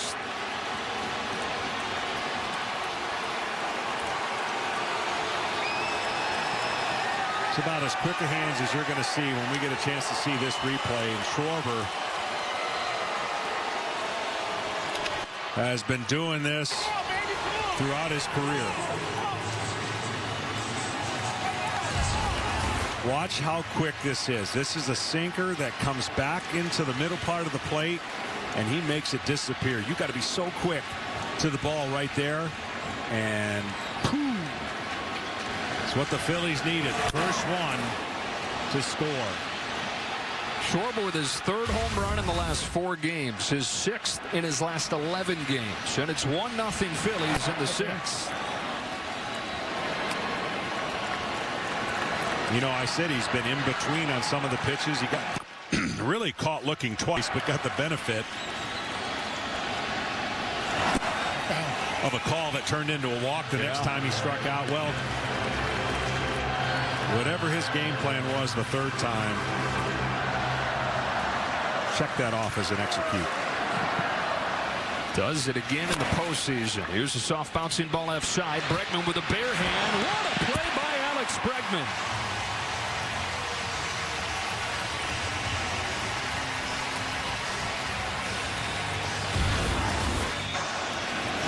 Well, you got to be so quick on your feet. And this play right here is practiced a thousand times in his mind and in spring training, and it becomes a staple for most third basemen who are so gifted like Bregman is.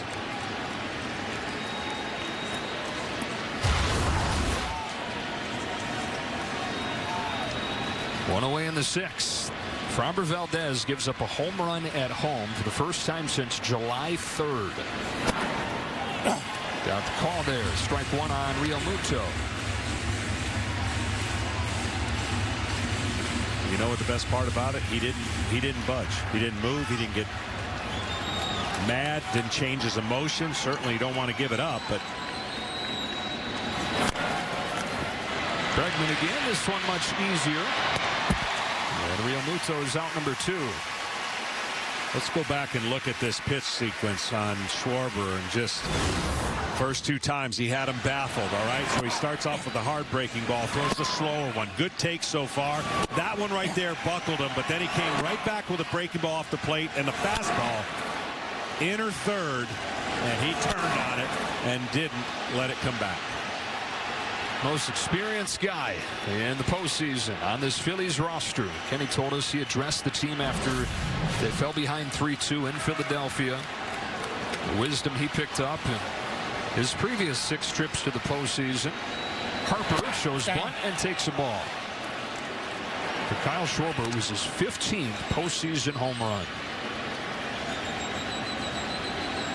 Well, for Rob Thomson, that's huge. Even though it's only one run, it allows him to manage the game. He's going to manage this game, obviously, as a game seven. So his starter gets in any trouble.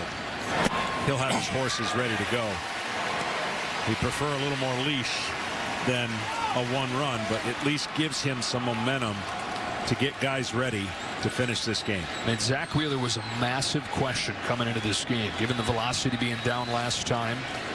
But he has answered all those questions, and they finally have gotten him some support. Harper turns on a ball down the line, hooking, foul. He nearly parked one of his own out there. Well, we talked about, and you've, you've asked me, you know, what's easier when you've had success to pitch again or when you haven't had success in making the adjustment. I think when you haven't had success in making adjustment, we saw Verlander do it, grind out a win. We, we've seen so far Wheeler do it now and take a difference of his first game to his second game in the World Series. Curve gets him to chase and finishes off the sixth, but the Phillies break through first. Babe Schwarber again. Started last game with a home run. Starts the scoring here in game six with a home run. It's 1-0 Philadelphia facing elimination. Lit the fire with a solo shot to lead off the sixth against Framber Valdez. Astros wasting no time. Maldonado crowded the plate, got hit by a pitch. He was replaced by Altuve on a fielder's choice. And then a base hit for Jeremy Pena has runners at the corners. Yordan Alvarez coming up. And Jose Alvarado, this is the matchup, John, they've looked for all series. They're going to have it again. Alvarez facing off with Alvarado. Well, you want to be a reliever in the big leagues. Uh, the last couple times now, Alvarado has had the bases loaded, nobody out. Unfortunately, a tough situation didn't work out well. Now he's got first and third, one out. Much better situation as opposed to bases loaded, nobody out, but facing a guy that he is hoping he can either get a ground ball double play or a swing and a miss strikeout to keep this game one nothing. And Alvarado is kind of guy that can do that. He's faced him three times, 0 for 2. He hit him with the bases loaded last time he faced him. First pitch, ground ball foul. Yordan Alvarez, walk-off home run, first game of the postseason. Game-winning home run, game two of the postseason. Five for 42 since. 40 at-bats since that go-ahead home run in game two. Well, he won the battle on the first pitch. He thought he could get him uh, first strike and look for him to go to that hard cutter to get a swing over the top barrel, but he was all over that sinker first pitch. Here's the 0-1. Alvarez takes way outside. Realmuto able to get his glove to it. One ball, one strike. Pena trying to mess up the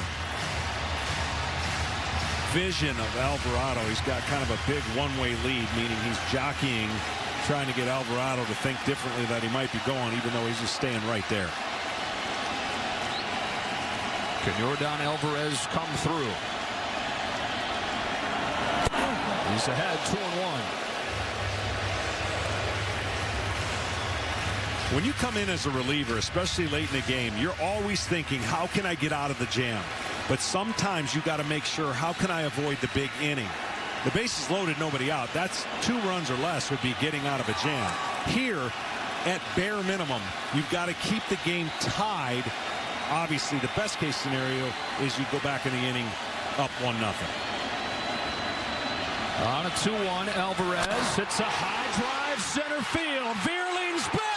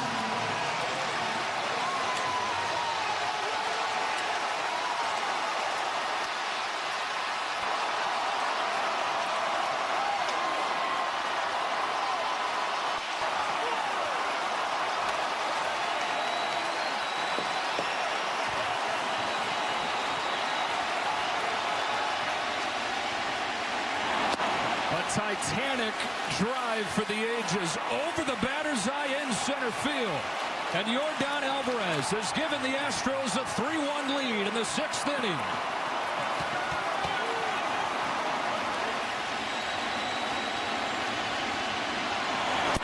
2-0 on Alex Bregman. We talked about it. It was his three-run homer in game one that possibly could be the reason they're here. And it's his three-run homer that possibly could be the reason why they win the World Series. What a blast. And the more you see a reliever in a series, the better chances start going to the hitter. And you saw he knew right away. Everybody in this crowd knew right away. And unfortunately, Alvarado knew right away.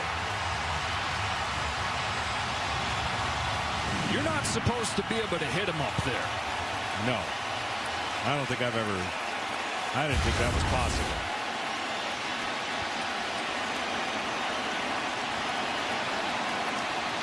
Two zero. Ball three. If you can believe it, not many teams wanted Yordan Alvarez coming out of Cuba. And the biggest reason why, nobody thought that he'd hit for enough power.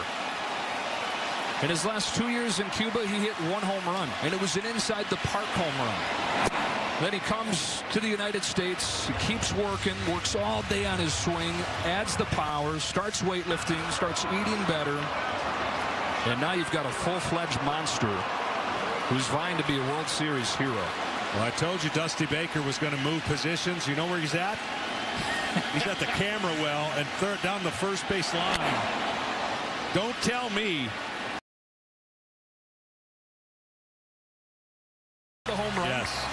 goodness. The magic touch. Dusty Baker. And it's the guy that he has many times said reminds him of a young Barry Bonds with the biggest swing of this World Series. A 3-2 to Bregman. Is in the dirt. That's ball four. One more look. Well, not one more, but for now, another look at a 450-foot shot. 450 feet straight away. Is like hitting a 500 foot down the line pull. And I'm telling you, on you, on you, on you, on you. On. Catching a home run ball. Zero. That probability was less than Yeah. one. They need to get that guy some security. It looks like they already got some security for him. That is one you want to hold on to. Bonus strike on Tucker. Well, it is so imperative now for Philadelphia to kind of slow this momentum down. And that's why they got their other big time reliever up because they know 7 8 9 against some flame throwing bullpen of Houston.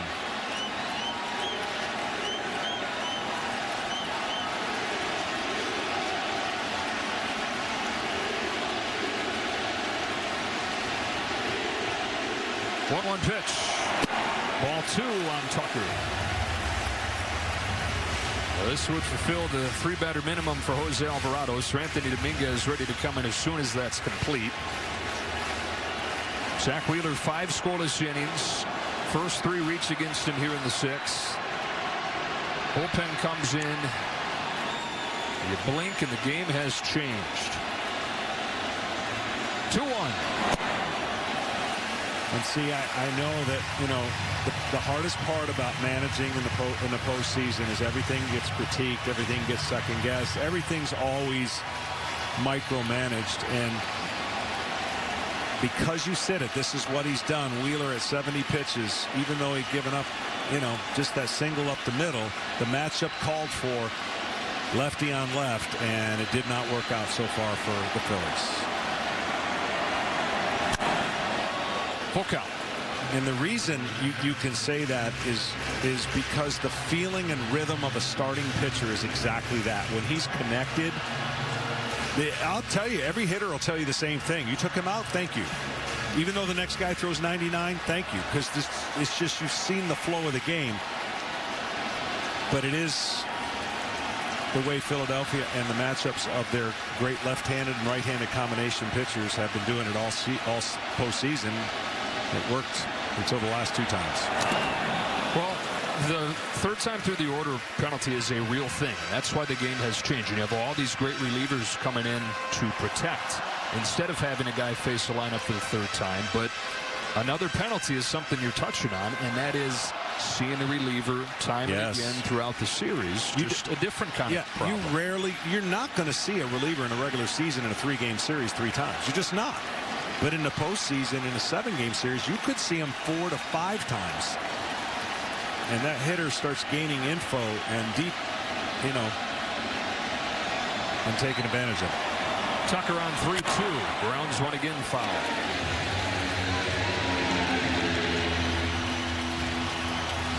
And the other side of the coin is we think that relievers are immune to just every time they get out there, they're going to have the same stuff every single time. You know how many times they warm up and don't get in or have to rev the engine. So this is what the Philadelphia Phillies have been able to do, and it's why they're here.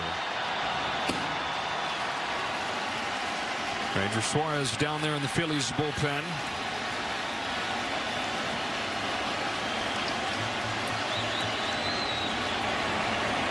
Another 3-2. Tucker down swinging. Now, the other side of that coin, John, is that one thing that can give the Phillies some hope going later into this game is that even as dominant as the Astros pen has been all postseason, they're seeing the same guys as well. Dusty Baker's run the same arms out there throughout this World Series. And as he tries to protect a narrow lead here late, you've got Pressly and Montero who have both pitched in four of the five games It's going to do it for Jose Alvarado. Yordan Alvarez, so many monster home runs throughout his short big league career, but none bigger than this. A three-run shot that takes a 1-0 deficit makes it a 3-1 lead for the Astros. One win from a world championship.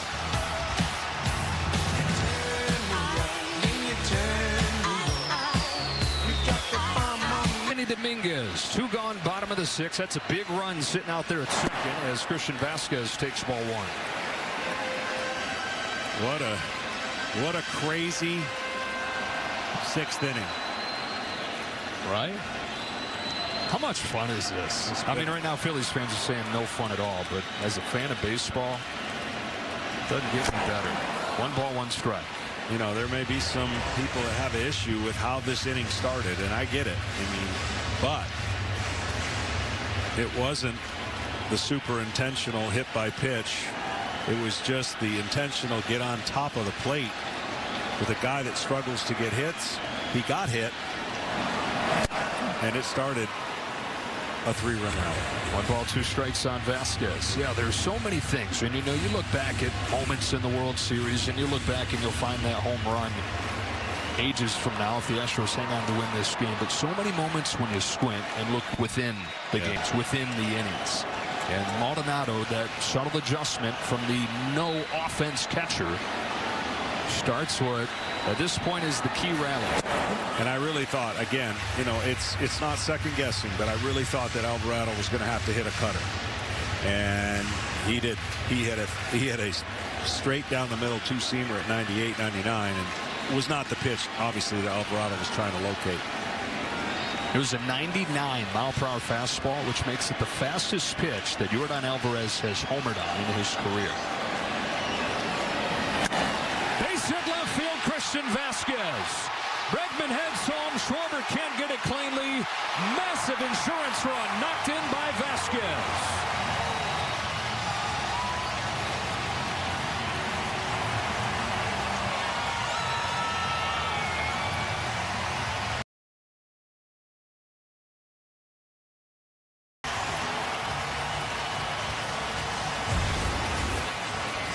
Vázquez, we said, is a good low ball hitter. And where was that pitch? It was in off the plate, but it was low, and he allowed him to get the barrel of the bat to the ball. Schwarber trying to make a do-or-die play, field it and throw. Don't think it would have mattered, but what a huge two-out base hit. And so the two catchers for the Astros chipping in. And Their own individual ways in this sixth inning. We detail what Maldonado did, and now Christian Vázquez, just his third start of the postseason. This one coming as the DH. A two-out RBI single to make it 4-1. Trey Mancini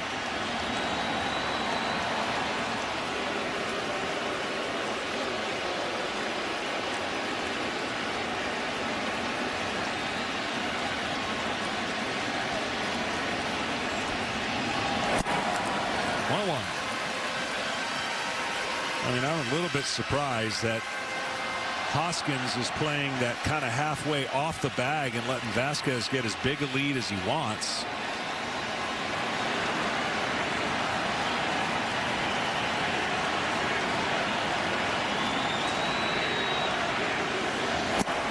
One and two.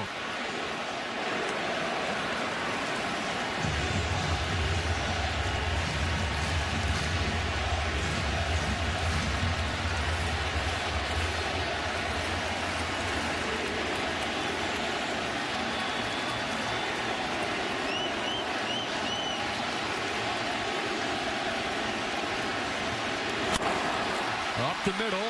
Segura, good range across his body and a pick from Hoskins. That ends the sixth. And the sixth inning is the one that you'll circle at this point. Looking back on game six. Schwarber got the Phillies in front. And then a legendary swing from Yordan. MLB's RBI program is designed to support organizations that provide baseball and softball playing opportunities to youth and underserved communities. Visit MLB.com slash RBI for more information. So this is up to the Astros bullpen, which has been historically good. Hector Neris making his third appearance of the series. Ball one on Nick Castellanos. The Phillies have had answers all year. They were eight games below 500 at the end of May. They were the last team into the postseason field. Started their postseason by scoring six runs in the ninth inning to erase a deficit. That's a strike and it's one and one. Did it in the division series. Did it in the championship series. Came back from 5 nothing game one of the World Series. Again. Or is this the Astros time? Houston nine outs away from a second world championship. One and two on Nick Castellanos. Well, the one thing that this series goes longer, you think the Houston Astros gain the momentum and they have the, the advantage. Well, they took the hottest offense at home and they started the last 27 innings really dominating with their pitching and that's what they're that's how they got here and their bullpen has been almost unhittable so they have when they were down they have flexed their muscles with their arms and timely hitting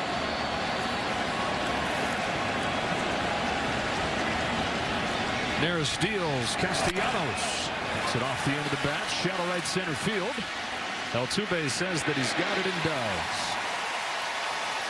Well, the Phillies took a 2-1 series lead by hitting five home runs in game three. Christian Javier then comes back and unthinkably has six innings and a combined no-hitter. Verlander gets his first World Series win, giving up one run over five innings, and then Framber Valdez tonight, continuing what the identity of this Astros team has been all year. Yeah, it started with that man, Javier. He kind of closed the narrative of this unbeatable team at home in the Phillies. And then look at the Astros have done in the postseason. That is, that's about all you can ask for.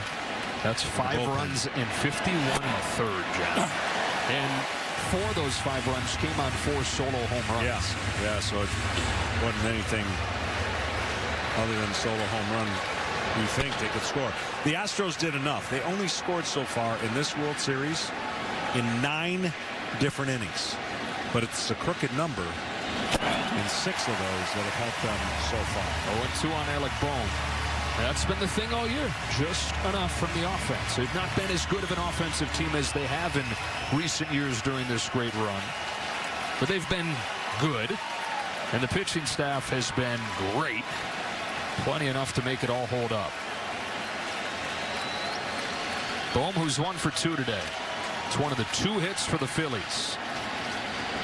He's one for three. Neris flames a fastball by him.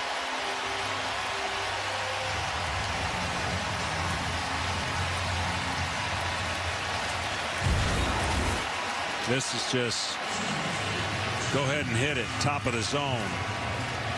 Flame. 94 looking like 98 from the old Philly.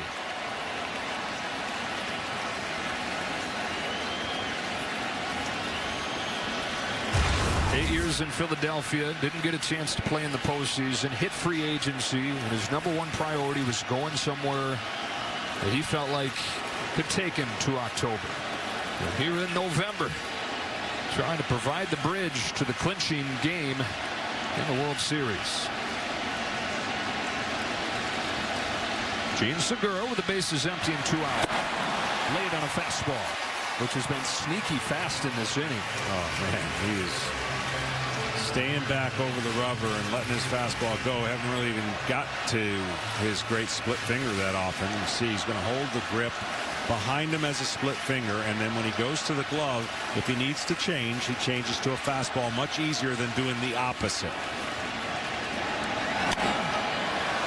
Giddy up. Because if he holds the fastball behind his body, then he has to do too much to change to the split. So anyone who throws splits in the big leagues, they will always hold it as a split and then change it in the glove to something else if they have to.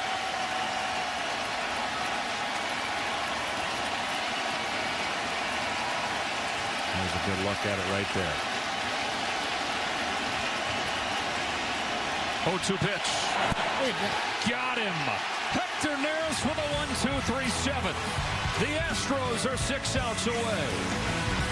And now stay tuned for a look at Disney's Strange World in theaters November 23rd.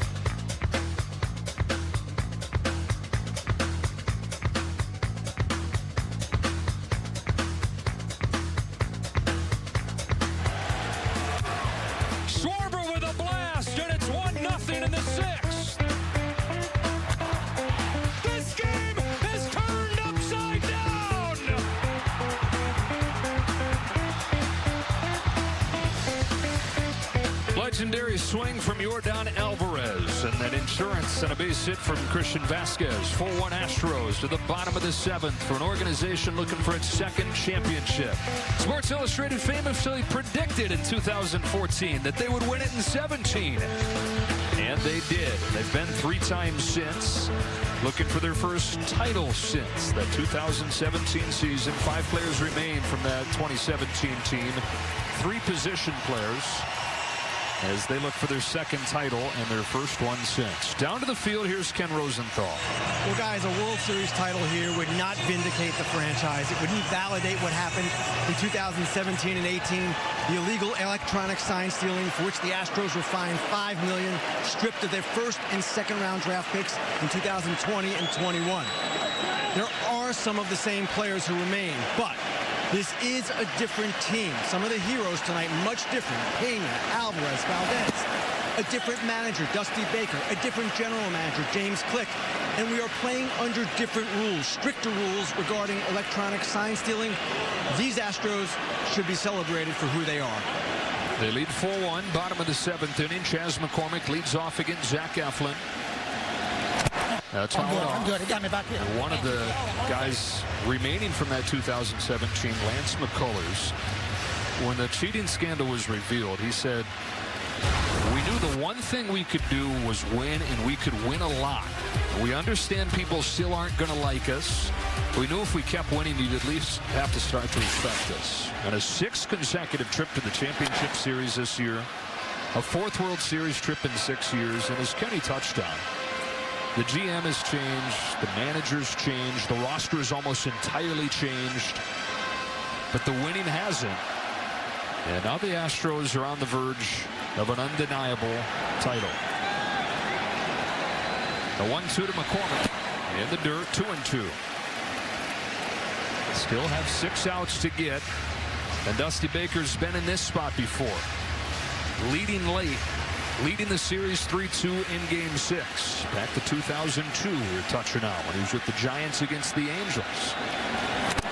You? Well, if you're going to do something improbable like the Phillies have done in this season to get to this point, you might as well continue that theme and do the improbable against a bullpen that has not given up anything. So Philadelphia counted out June 3rd. Start of the postseason, counted out, World Series. It defied logic over and over. Swing and a miss from McCormick. One gone in the seventh.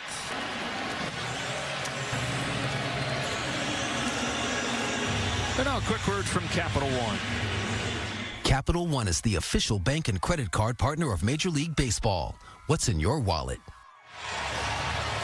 Martin Maldonado, one of those footnotes to the big sixth inning. He started it by getting right on top of the plate and getting hit by a pitch. Strike one from Eflin. And Maldonado, even though he's one of the worst offensive players statistically in baseball, Astros would tell you he's one of the most valuable guys on the team with his defense or the way that he handles the staff. One of the guys said if we could quantify preparation and leadership, this guy would lead the league. Then you add in the the little wrinkles that he can provide you offensively like he did last inning. And he's moved back to a normal spot in the box here. It's one and two. On the left is his at bat in the third. On the right, when he got hit in the sixth. And that's well within the game. I mean, you just don't see batters switch anything. You don't see batters take away sinkers, get up in the box. You don't see anybody move. He hits one in the air to left field, but hooked it off the end of the barrel. Kyle Schwarber runs under it two away. And for that, I give him a ton of credit. I mean, it may not look pretty. It might look to some people like, eh, that's not baseball. It actually is in this moment to do something different when you can't, you, you may be a little bit an underdog when it comes to hitting against, let's say, Wheeler. And it proved to be the inning. Altuve reached on a fielder's choice in that inning. 0 for 3 with a couple Ks. Astros trying to win a World Series without getting an RBI from Altuve in the postseason. But I just find this so amazing that we set up the series in a way where Alvar Alvarado, the third hitter, has been the has been the target by the Phillies bullpen. But it's been Pena that has made that target harder to be successful because every time they came in to face Alvarado, Pena had done something special. And even though Alvarado was one and four in those situations, it's a pretty good one.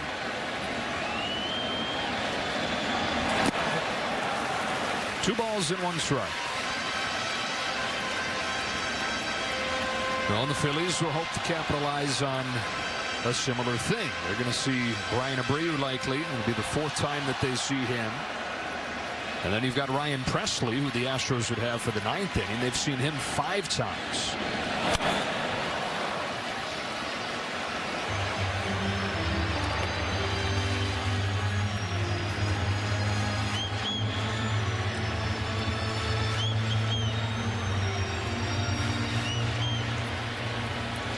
Beg your pardon, four times they've seen Pressly. This would be the fifth.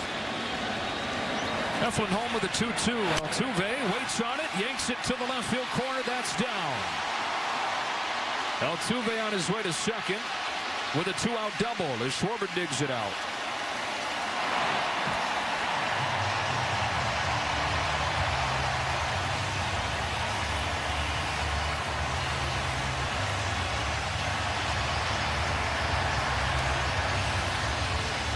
Tied for fourth all-time with his 103rd postseason hit.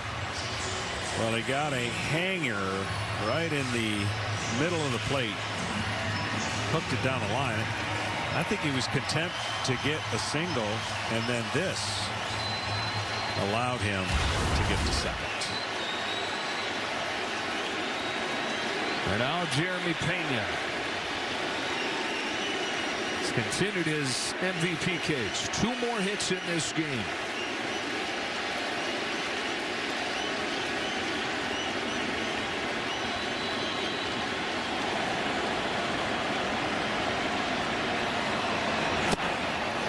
Two seam for a strike. Who's got your vote? If this holds up right now, is it him or is it Framber Valdez? I, I mean, it, he's gotten a hit in every series. Or is it Yordan Alvarez, I guess? I mean, no, it's it's it's got it's between those two. It's between Valdez and Pena, and I would lean towards Pena as much as I'm a pitcher at heart. Sitting 417 in this World Series. One ALCS MVP. Tries to become the first rookie position player to win World Series MVP. Two rookie winners have been pitchers. Larry Sherry for the Dodgers in 1959 and then Livan Hernandez for the Marlins in 97. It really is a tough call because you got a starting pitcher that just gave up two runs in two outings to a really, really good offense. And then you've got this guy playing every day and doing everything. So I'm going Pena. All right. 0-2 to him. Chased a breaking ball. And that finishes off the seventh. Phillies have six outs with which to work. Down 4-1. Down 3-2 in the series. Abreu comes total bases each day during the postseason. Compete to win 50 grand. Enter MLB Base Chase in the MLB Play app or through MLB.com slash play. Restrictions apply. See official rules for details. Eighth inning, 4-1 Astros. They lead the series three games to two. They lead the game by three. Bryan Abreu's on, and Bryson Stott will pinch hit for Matt Vierling. Strike one. You know, they talk about, you know, in NASCAR, how much horsepower your car has. You know what the Astros have in the in the bullpen? A ton of horsepower. A 98 mile an hour fastball and a slider that's virtually unhittable out of Abreu. Caught at third by drawn in Bregman. They put 98 and played it, Stott, but Bregman quick hands as the hot corner proves to be exactly that.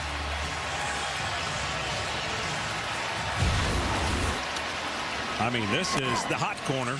It didn't come off quite as hard, but still, when you're in, you got to have good, have good reaction. And outs and out. Now there's only five left for Philly. Another pinch hitter here with the righty on the mound. Here is Brandon Marsh trying to get some traffic ahead of the top of the order.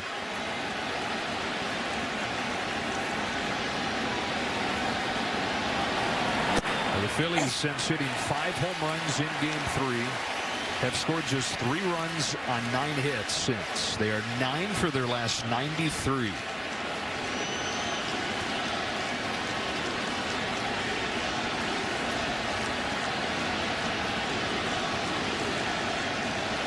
On an 0-1. Marsh takes away one ball, one strike. And here sits Dusty Baker again. That close. Five outs away for Dusty.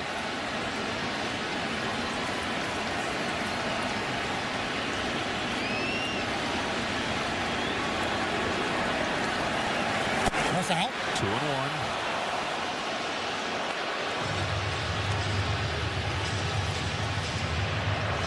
I mean, every club's looking for a guy like this, right? I mean, that they want a bullpen full of them, and there's so many great arms in the game today.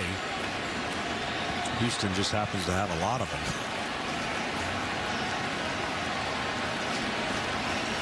Abreu's 2-1 is hit in the air to deep right center field, but Tucker settles under it, and Marsh is out number two in the eighth. A quick word from Evan Williams Bourbon. Postseason calls for award-winning bourbon. Evan Williams, 1783 small batch. And Bryan Abreu didn't even start playing baseball until he was 14. He was a basketball player. He had very little time for sports anyways, because from the time he was 11 or 12, he was working two jobs to help his family out. He was working in construction. He was working with his uncle, who was a mechanic. And when he played baseball, he was a hitter and an outfielder. And then somebody said, why don't you give pitching a try? Changed his life. Here he is in the eighth inning of what he and the Astros hope is the clinching game. Kyle Schwarber. Strike one. Wicked rip and a wicked pitch.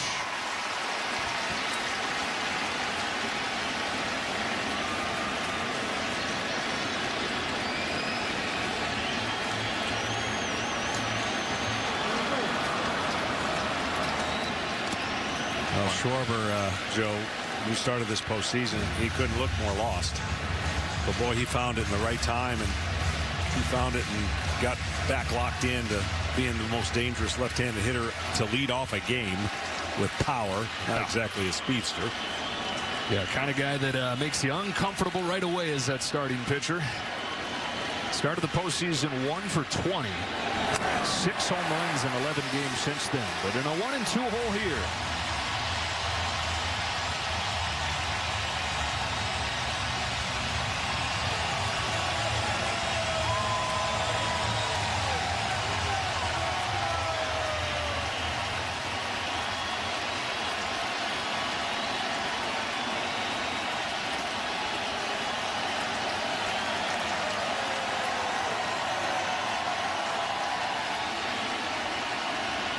Shows butt with two strikes, pops it up, back, and strike three.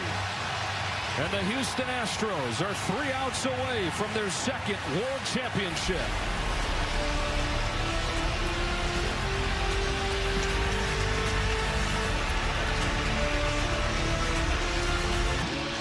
Dusty Baker, who originally signed with the Atlanta Braves out of high school, broke in the majors, bat behind Hank Aaron, got traded to the Dodgers, where he won a championship as a player in 81.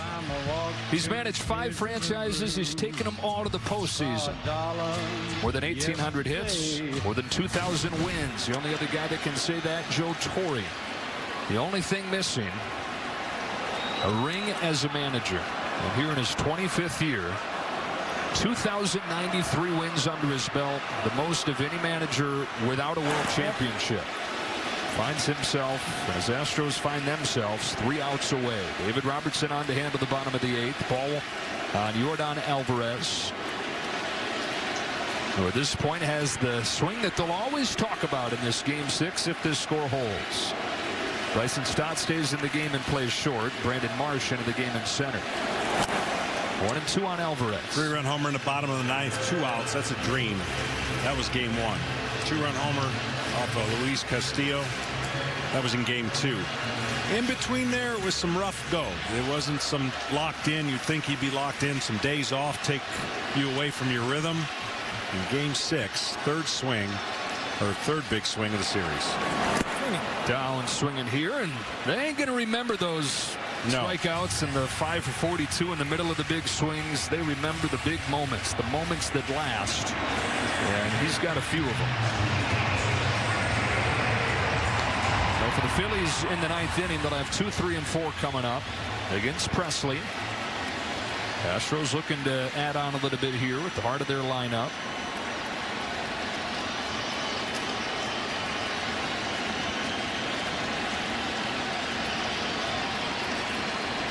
Alex Bregman spins this one back foul.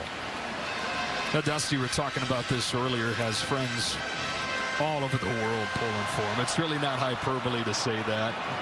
54 years in the game. That's 54 years of teammates and foes and all those players that played for him. Outside the game, it's a list of who's who. I mean, he's friends with Willie Nelson and Snoop Dogg friends of Joe Namath and Rob Lowe. He once partied with Jimi Hendrix.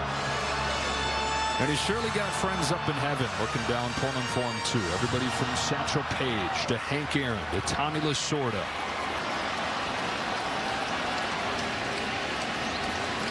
Oh two.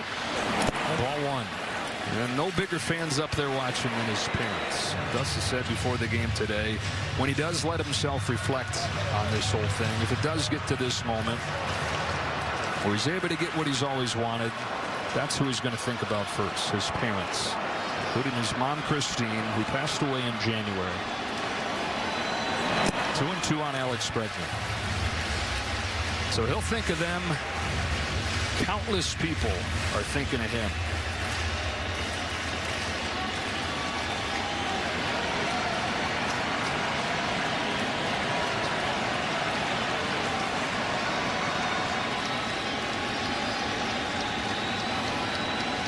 Robertson's 2-2. Full count on Bregman.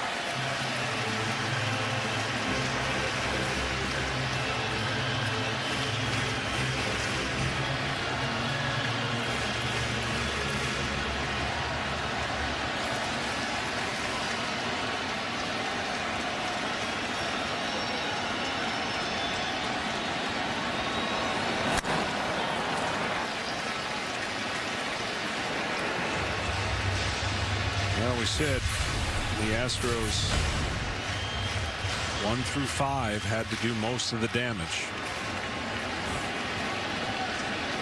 They did it again. Yep, four runs scored. Top four in the lineup. Another 3-2 is a curve, and it's hooked into left field. A base hit for Bregman. Schwarber grabs it. Bregman on his way to second. Schwarber's throw. Not in time, and a double for Alex Bregman.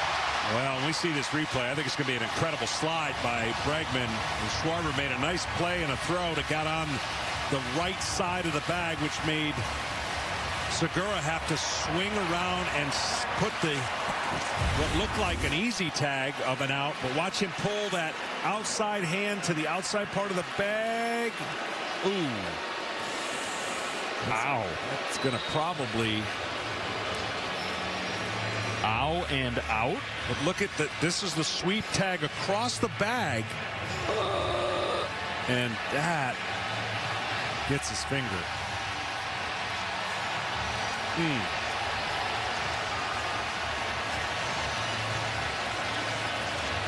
To talk about a game of inches. Whew.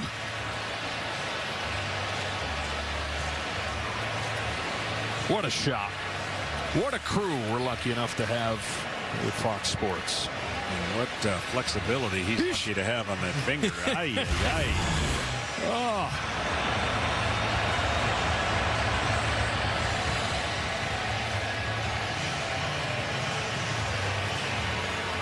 Playing the waiting is the hardest part. that means more than one thing at this point.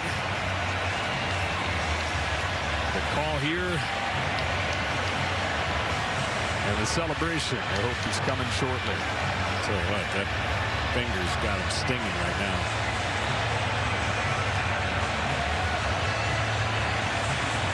He's got like five months to rest it. If they can hang on here.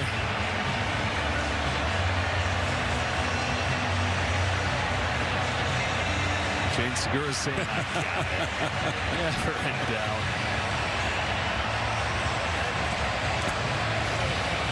I'll tell you what, that finger's going to swell.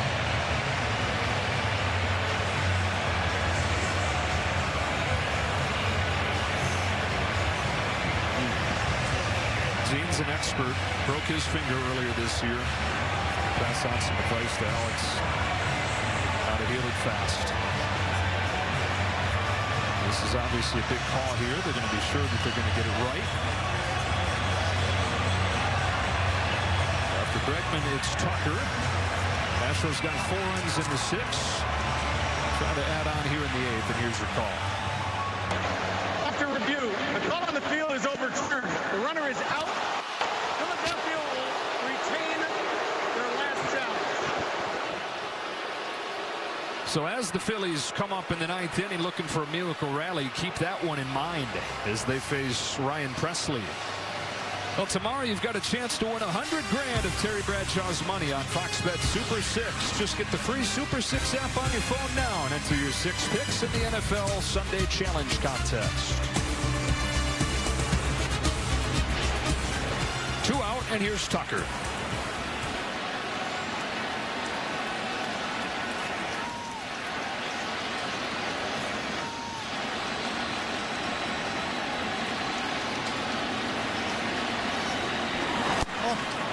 Ball, no strikes.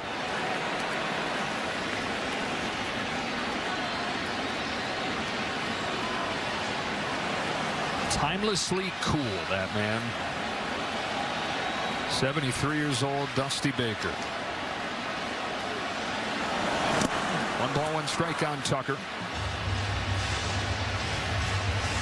His closer, Ryan Pressly. Five out save in game five.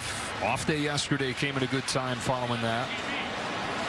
Ready for his chance to lock this one down. Looking for his first ring.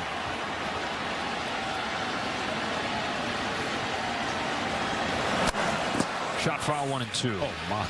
Look out over there, huh? Took it out of the glove. Put it in the dugout. Astros trying to do something that's not been done in almost a decade. That is clinch at home. Last team to clinch at home, the Red Sox. In 2013, it was nine years ago last time it happened. Tucker pops it into center field. Schwarber will make the call and the catch. Fasten those seatbelts. To the ninth inning we go in game six. Two, three, and four coming up for the Phillies. Ryan Pressly coming on with the Astros three outs away. Pressly got a five-out save in game five. Is on there for the ninth inning. Astros three outs away from a world championship.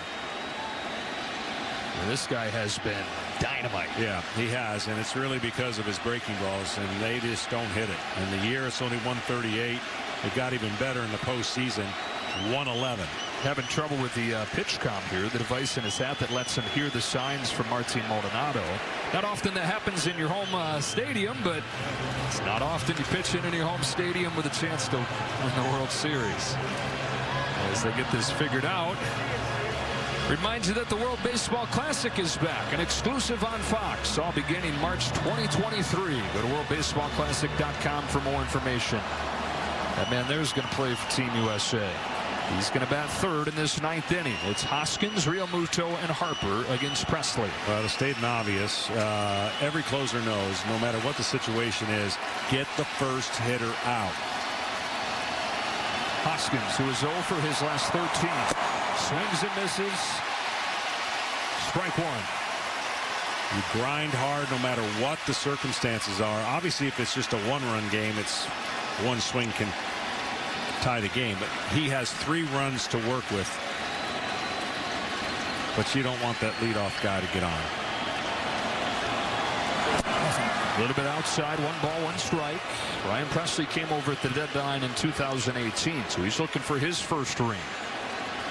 So many of these Astros are.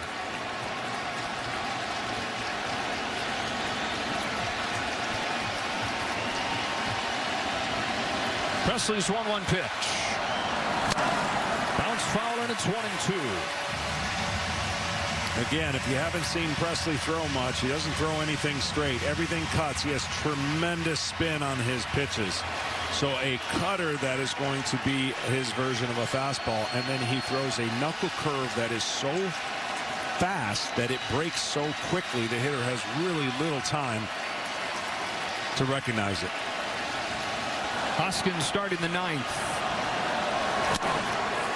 It up. Tucker. Astros two outs away.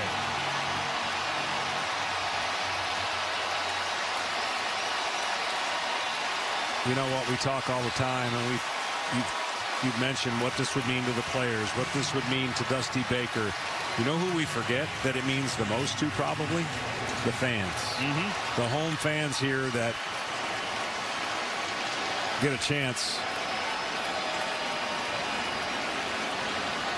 to get one without any asterisks. Fans deserve it. Town deserves it. 4-1 in the ninth inning. Bases empty, one gone. JT Realmuto lines the ball into center field, and the Phillies have hope. Realmuto with the first hit since Schwarber's home run in the sixth. And that's why getting the first hitters out out is so huge because now with a runner on, you're always one pitch away from getting out of the inning for the double play. And you also know that this man can't tie it up. When you're a closer, you don't care about your sexy stats. You just care about walking in to end the game before they tie it up. You look back to that insurance run brought in by Christian Vázquez with a two-out base hit. Looming yeah. large now instead of Harper representing the tying run. Tying run in the on-deck circle in the form of Nick Castellanos. Harper is 0 for 3 here in game six. He slices a pop into left. Yordan Alvarez. The Astros are one out away.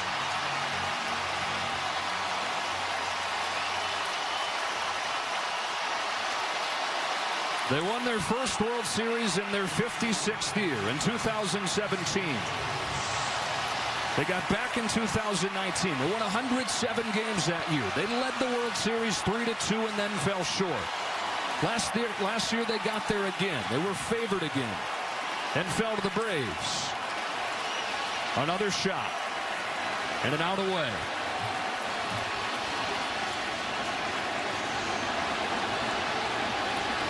And a lot of cell phones out to capture the moment.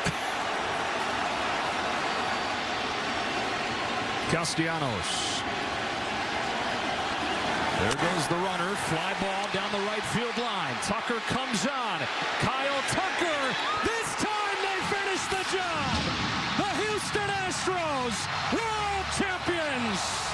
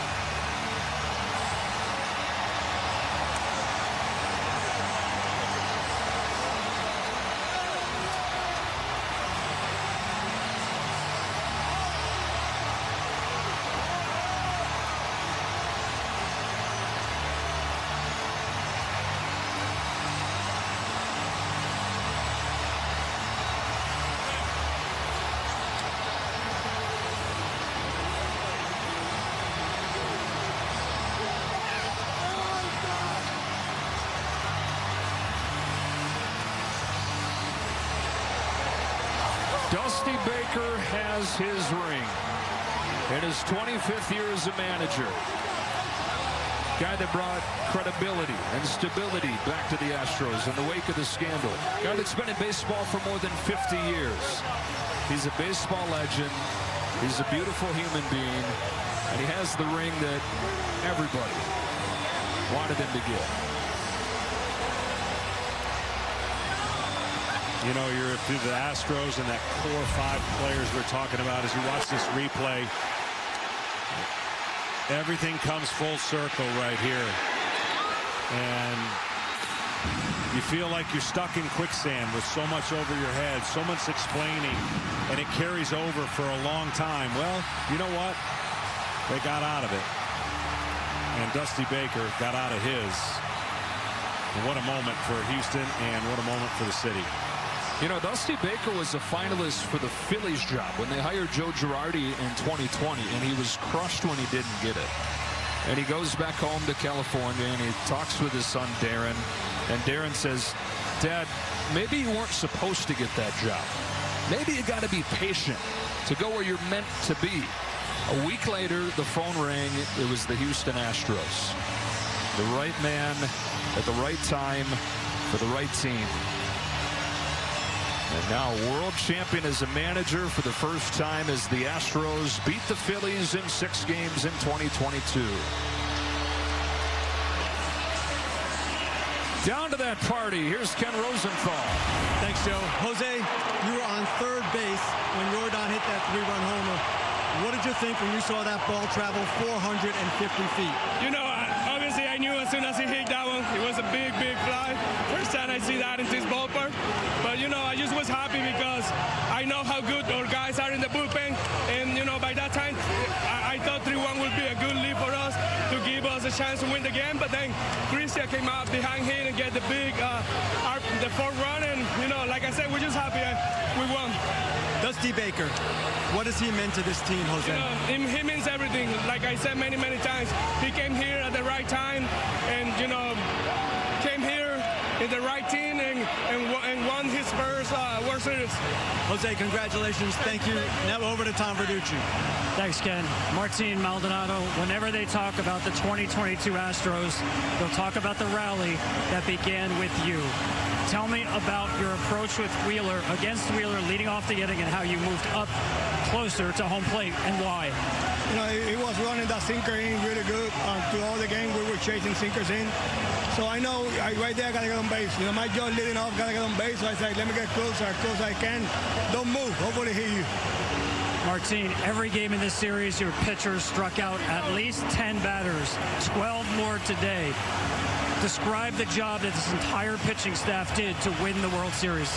No, they, they, this pitching staff been amazing all year. The bullpen, our bullpen been really, really good. You know, Framber battled through on first couple of innings, but he, he settled down. Um, you know, we believe in each other. They, they, they trust me, I trust them, and uh, you know, I'm just super excited for the moment.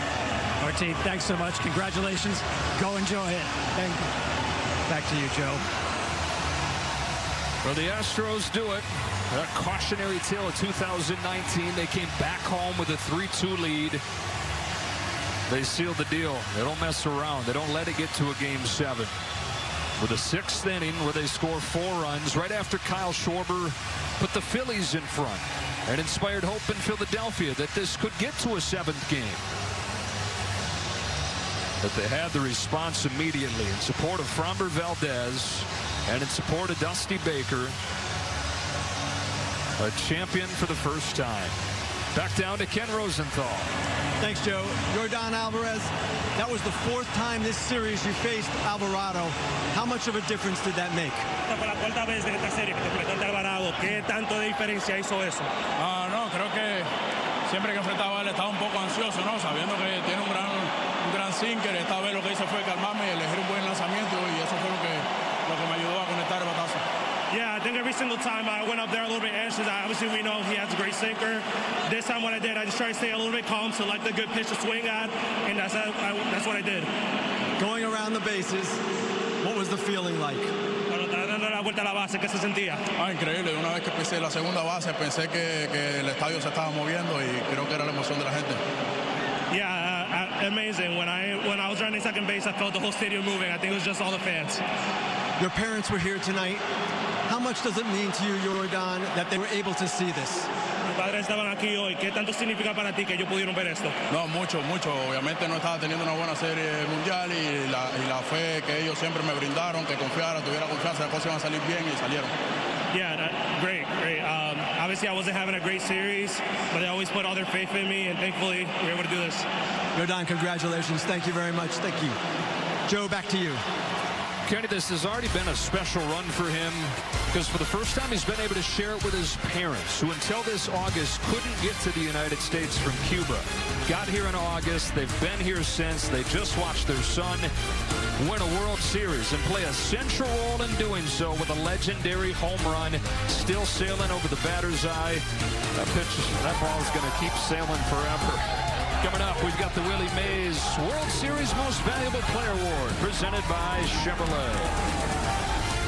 And the Astros are champions for the second time in franchise history for the first time since 2017. We welcome you back in. Thanks for being with us for this World Series. Joe Davis, John Smoltz, and so many memorable moments to this fall class. Really, I, I can't think of, of storylines that were as great as they were here. Philadelphia, Yeah. what an incredible journey. And then, of course, Houston gets to cap it off with all that they've been through. This really was a great World Series, and um, Dusty Baker got his. Yeah, in his 25th year as a manager, Dusty Baker gets a ring for the first time. We're going to go down to the field. Kevin Burkhardt, take it away. Here with Commissioner Rob Manfred. Minute Maid Park. Can you hear me? Try one more time. Minute Maid Park. Can you hear us? There we go.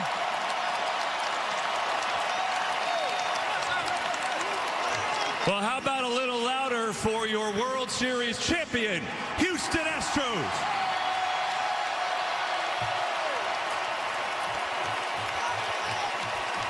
All right, let's hand out the trophy, right? We got the owner, Jim Crane of the Astros, James Click, the general manager, the manager, Dusty Baker is here.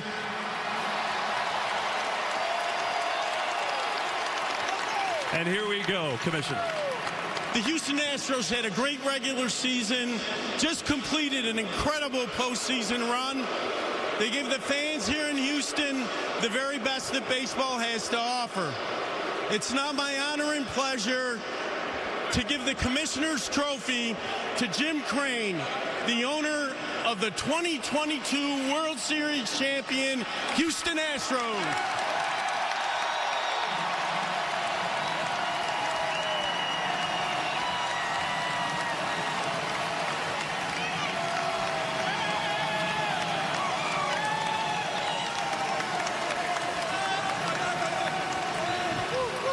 Jim, congratulations. And how sweet does the second one feel? Well, it's great. But Houston, we did it again. Without you, we're not here. Congratulations, Jim. Thank you. Just a couple quick words. Great fans, uh, great ops team, James Group, Dusty's group, all the great players. And from the bottom job in this stadium to the top, everyone contributed. We love you all. James, come on over. As the uh, architect of this whole unit, what is the most gratifying thing for you to see it come to this? Just to be on the stage with this team, and with Dusty, with Jim, with all the players, to be in front of our fans here in Houston. Thank you. You did this. Thank you. Congratulations. Well, let's see. This morning, Dusty Baker had managed the most games ever without a World Series title. Not anymore. Now they quit talking about it.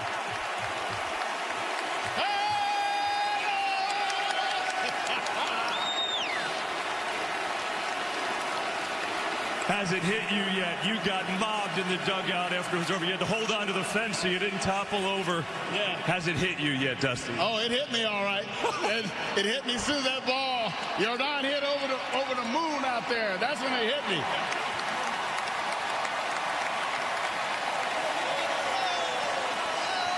What has been the most enjoyable thing about this whole run for you? Well, I, I now that hadn't sunk in yet, to tell you the truth. But you know, how about the Astros?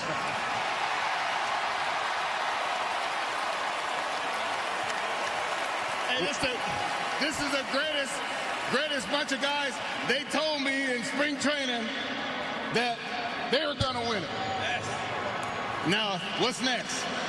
Uh, party. Dusty, enjoy it. Dusty Baker. Well, man, thank you. All right. We have uh, one more trophy to hand out. The Willie Mays Most Valuable Player presented by Chevrolet. Um, can we have Jeremy Pena? Right here. That's all yours.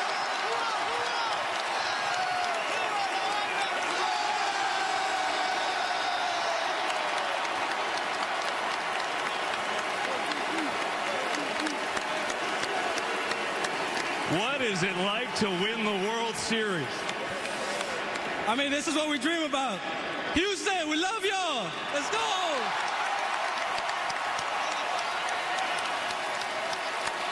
Jeremy, you're the second rookie ever to win MVP of the LCS and of the World Series. How did you do it? I mean, shout out to these guys. You know, these guys kept me within myself. You know, their preparation every single day.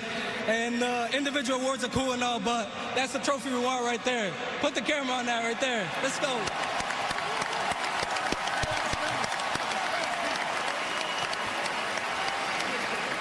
Un saludo para mi gente latina queremos. hey. What was your reaction? You were right in the middle of the rally when, as Dusty said, Yordan put that ball on the moon. What was your reaction right off the bat? I mean, our job was to get on base, pass it out to the next guy, and you know, Yordan's been doing it all year. So, uh, you know, always trust the big man. You know, that that was impressive.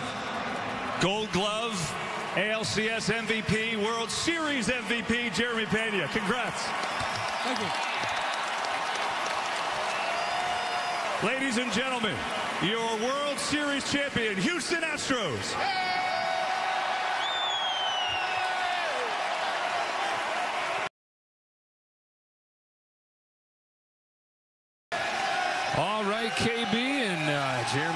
the first rookie position player ever to win World Series MVP. After he wins American League Championship Series MVP, every step of the way, this guy answered questions. He hit 400 in this World Series and a very deserving winner. Yeah, it's an incredible feeling to be this young and to have the rest of your career be marked by two MVP. The sky's the limit for this young man. What a year, what a season. Astros are world champs. Dusty Baker's a world champ. And we've got plenty more coverage coming up from Houston. Kevin Burkhardt and the boys recap game six. And these six games, Astros over the Phillies in 2022 That's been in May. The confetti still floating in the air, and man, what a night. Frank Thomas, David Ortiz, Alex Rodriguez, and I see uh, I see our special guest coming over right now. My dog. There is Dusty Baker. Gonna enjoy this every second of it. Oh, yeah. I tell you. That's the final chapter to the movie.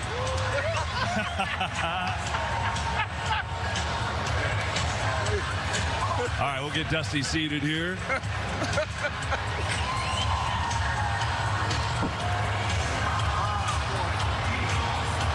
time no see, Dusty. Congrats. Yes, sir. My man. Hey, that's a good one. Hey, Yes, sir. Come on, no. hey, let me ask you a question. Yeah. At the gate, what's next? What's next? I said if I win one, I want to win two. That's what I'm talking about. Ah! what I do, Frank. Yes. yes. Yes. Hey, man, I'm so happy. I was, I was just thinking about my, my mom who passed in January and my dad and Hank Aaron year and all the guys that helped mold and make me the man that I am. And uh, I'm so happy that actually it took this long because I would have been gone a long time ago. And then you, you know, then you affect affect the players' lives and their families, and that's that's what it's all about. Because you've been one of the best mentors, players, coach, players, managers this game has ever seen. I mean, and for me as a young African American player, you've meant so much to us. You're a huge inspiration. I'm so happy tonight that you got this victory because I'm tired of hearing all those narratives. Yeah, yeah. I'm just tired of it. Tired of hearing It's your moment. This is your night. This is your he time. doesn't do this. He doesn't do that. It- all I hear about what I can't do, but you know, my mom and dad taught me perseverance, and, and you got to persevere. You got to believe in yourself. And there's a lot of people around the country that were pulling for us. That's right. Especially people of color. Especially there are people of color right, everywhere I go, and people of non-color. So hey, man, we are family. That's right, baby. That's right. That's right. Hey, Dusty, you've Yeah. been such a role model for Poppy, Big Hurt, myself, and thousands, if not millions, of other people of color, of any color. But my question to you is, you were so close with the Nats, with the Cubs, with the Giants. Yeah. Did you feel the time would never come? How satisfying is this for you right now? Well, I didn't know if the time was going to come when I couldn't get a job. But I knew if I got a job, the time is going to come. That's right. You know what I mean? And you keep, you keep, you keep, you keep uh, churning and you keep, keep hustling and you keep, you stay with it. Yeah. You know what I mean? I just And, uh, remember sitting with you at the steakhouse yeah, you know, that night. some people get it in day one, some people get it. You know, like I, I talked to Scatman Crothers years ago. Yeah. He used to be on Chico and the Man. And I asked Scat, I said, hey, man, how are you still doing this? He said, Dusty, 50, and he was old then. He said, 15 years of pleasure is worth the 60 years of struggling trying to get here. Absolutely. You know what I mean? So that, Absolutely. yeah, and I was like, yeah, I've always stuck in my mind. Dusty, I, I, I mentioned this on the podium a moment ago, but if you could look at her, I just want to, if you look at the monitor, take us through this moment for you. what are you feeling right about there? Well, actually, I'm feeling that they're swarming all over me. I, it, it was all my coaches and, the, and all the, you know, clubhouse people and stuff. They were as happy for me as I was. And but it was about us. I kept seeing those signs like "Do it for Dusty," and the players would say, "Hey, man, we're gonna do this for you." Framber told me this before the game. He told me this before the series even start, before the playoffs even started. Wow. And I'm like, "Hey, man, that's that's cool and everything, but let's do it for us and let's do it for the city of Houston and do it for hopefully all this stuff that we've been going through the last three years. Hopefully it's over. You know what I mean? Yeah, yeah, you gotta let it. You gotta let it ride. You know what I mean? Because these guys are some good ball players. Yes. Great ball You definitely do. Let me ask you a question, Dusty. You have a guy like Peña new kid coming in, trying to figure it out. All of a sudden, he left everything on that field. World Series MVP. I mean, what kind of type of blessing is that for you? Well, you know, that that's great because I think about my own son to be in that situation. And I think about the guys on the taxi squad because Pena was on the taxi squad last year at this time. So I urge them all. You don't know you could be next year's Pena because you don't know how close to stardom that you all, all you need is the opportunity. You got to make the best of the opportunity. And I got to commend Pena's mom and dad, Geronimo and his mother, because they did a heck of a job raising a fine young man. On that key. Where's the party tonight? Yeah? Come on, baby. First we go party Come on, baby. Oh, you love the party. Oh, you know, baby. You really know. so happy for you, Dusty. Thank you, bro. I love you, man. I'm so glad you put all that stuff to bed. You're a great man, Dusty. Thank you, You Thank you so much. Papa. Dusty, congrats to you. Enjoy every second. Really. Justin Verlander, we're going to oh, get him in here now.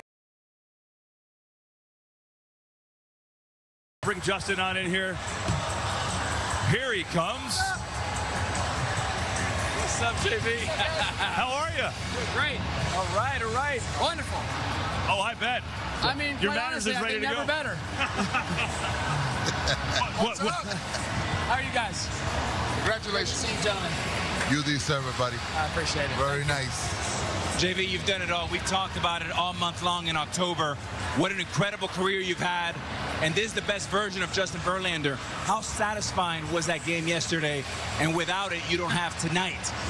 You know, I would have rather know, a little bit of an easier game, but um, you know, sometimes the toughest games are the ones that you come out of feeling the best. Um, it was a it was a difficult game. Um, you know, these guys they're hot. They have a great lineup, and, and they didn't make anything easy on us.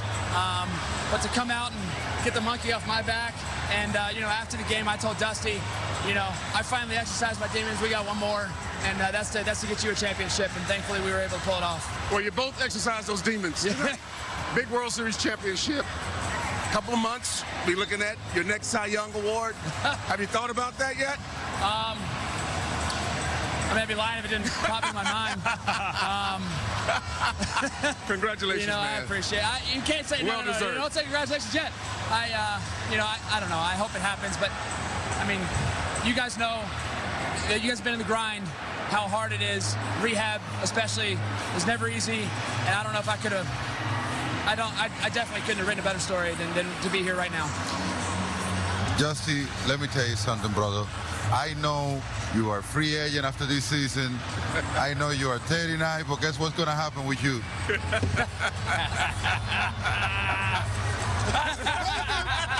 I'm going to baptize you. Pay the man. Where the money at? You're out of money. What happened? Give me more money. Hey, it's real money. Don't take it to the store. Don't take it to the store. You're scaring his daughter. She's all right. Justin, your daughter got is it. You got adorable. I mean, she's just it. smiling for the camera. Like she's Yeah. loving every I second mean, of this been, too. She's been a part of this ride from the beginning. Um, really and truly, such a blessing. Uh, when I when I did, when I knew I needed rehab, it was one of those things that you know I, I, I knew I'd never get. I hadn't had a summer off since I was five years old. You know, and and to have this little girl here at home and get to come back to her every single day. Uh, and just have her be part of this journey um, really puts things in perspective. Um, and, and I think it's helped me be more present and uh, man, just uh, I, it's quite overwhelming to be honest. What was your immediate reaction when Yordan hit that ball out of the yard? I mean, that thing was a Oh. rocket. I, I don't. I, I mean, it's rare that you see one hit the center like that. And you just absolutely know it's gone. I mean, the emotions are so high. I mean, you're on the edge of your seat. Obviously, you know they threw a punch, and we did what we've done all year. You know, we came right back and threw a haymaker. Um, and you know, Yordan did it.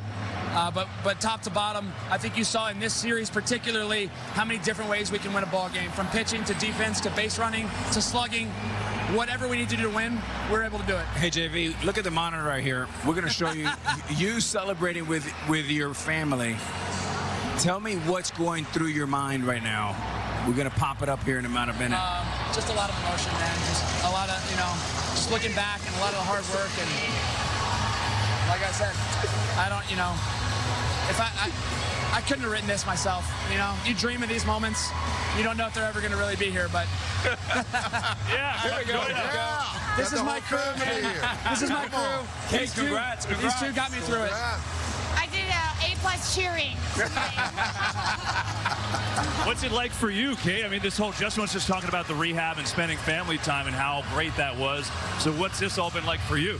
Um, it's such an incredible experience. I mean, having Justin home and being able to be together as a family is so amazing.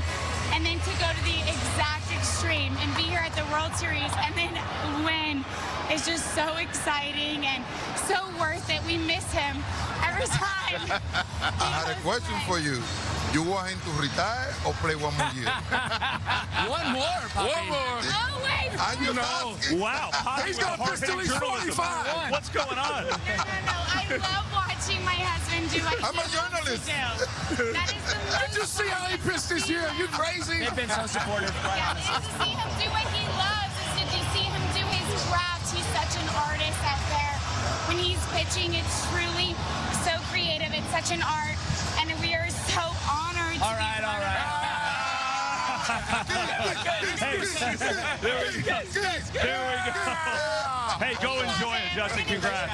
Congrats to all of you. Congratulations and hell of a comeback year. All right. Well, that's a good start. Dusty Baker, Justin Verlander, and the Houston Astros are World Series champions again. Yes. Second time in the last six years. We'll hear from Rob Thomson of the Phillies and more. Post game continues on Fox. Emotional night for the champions. The Houston Astros do it in game six. Got a great pitching performance again from Framber Valdez. Their bullpen lights out. And Yordan Alvarez with a monstrous three-run home run. Ryan Pressly got the big old champagne bottle.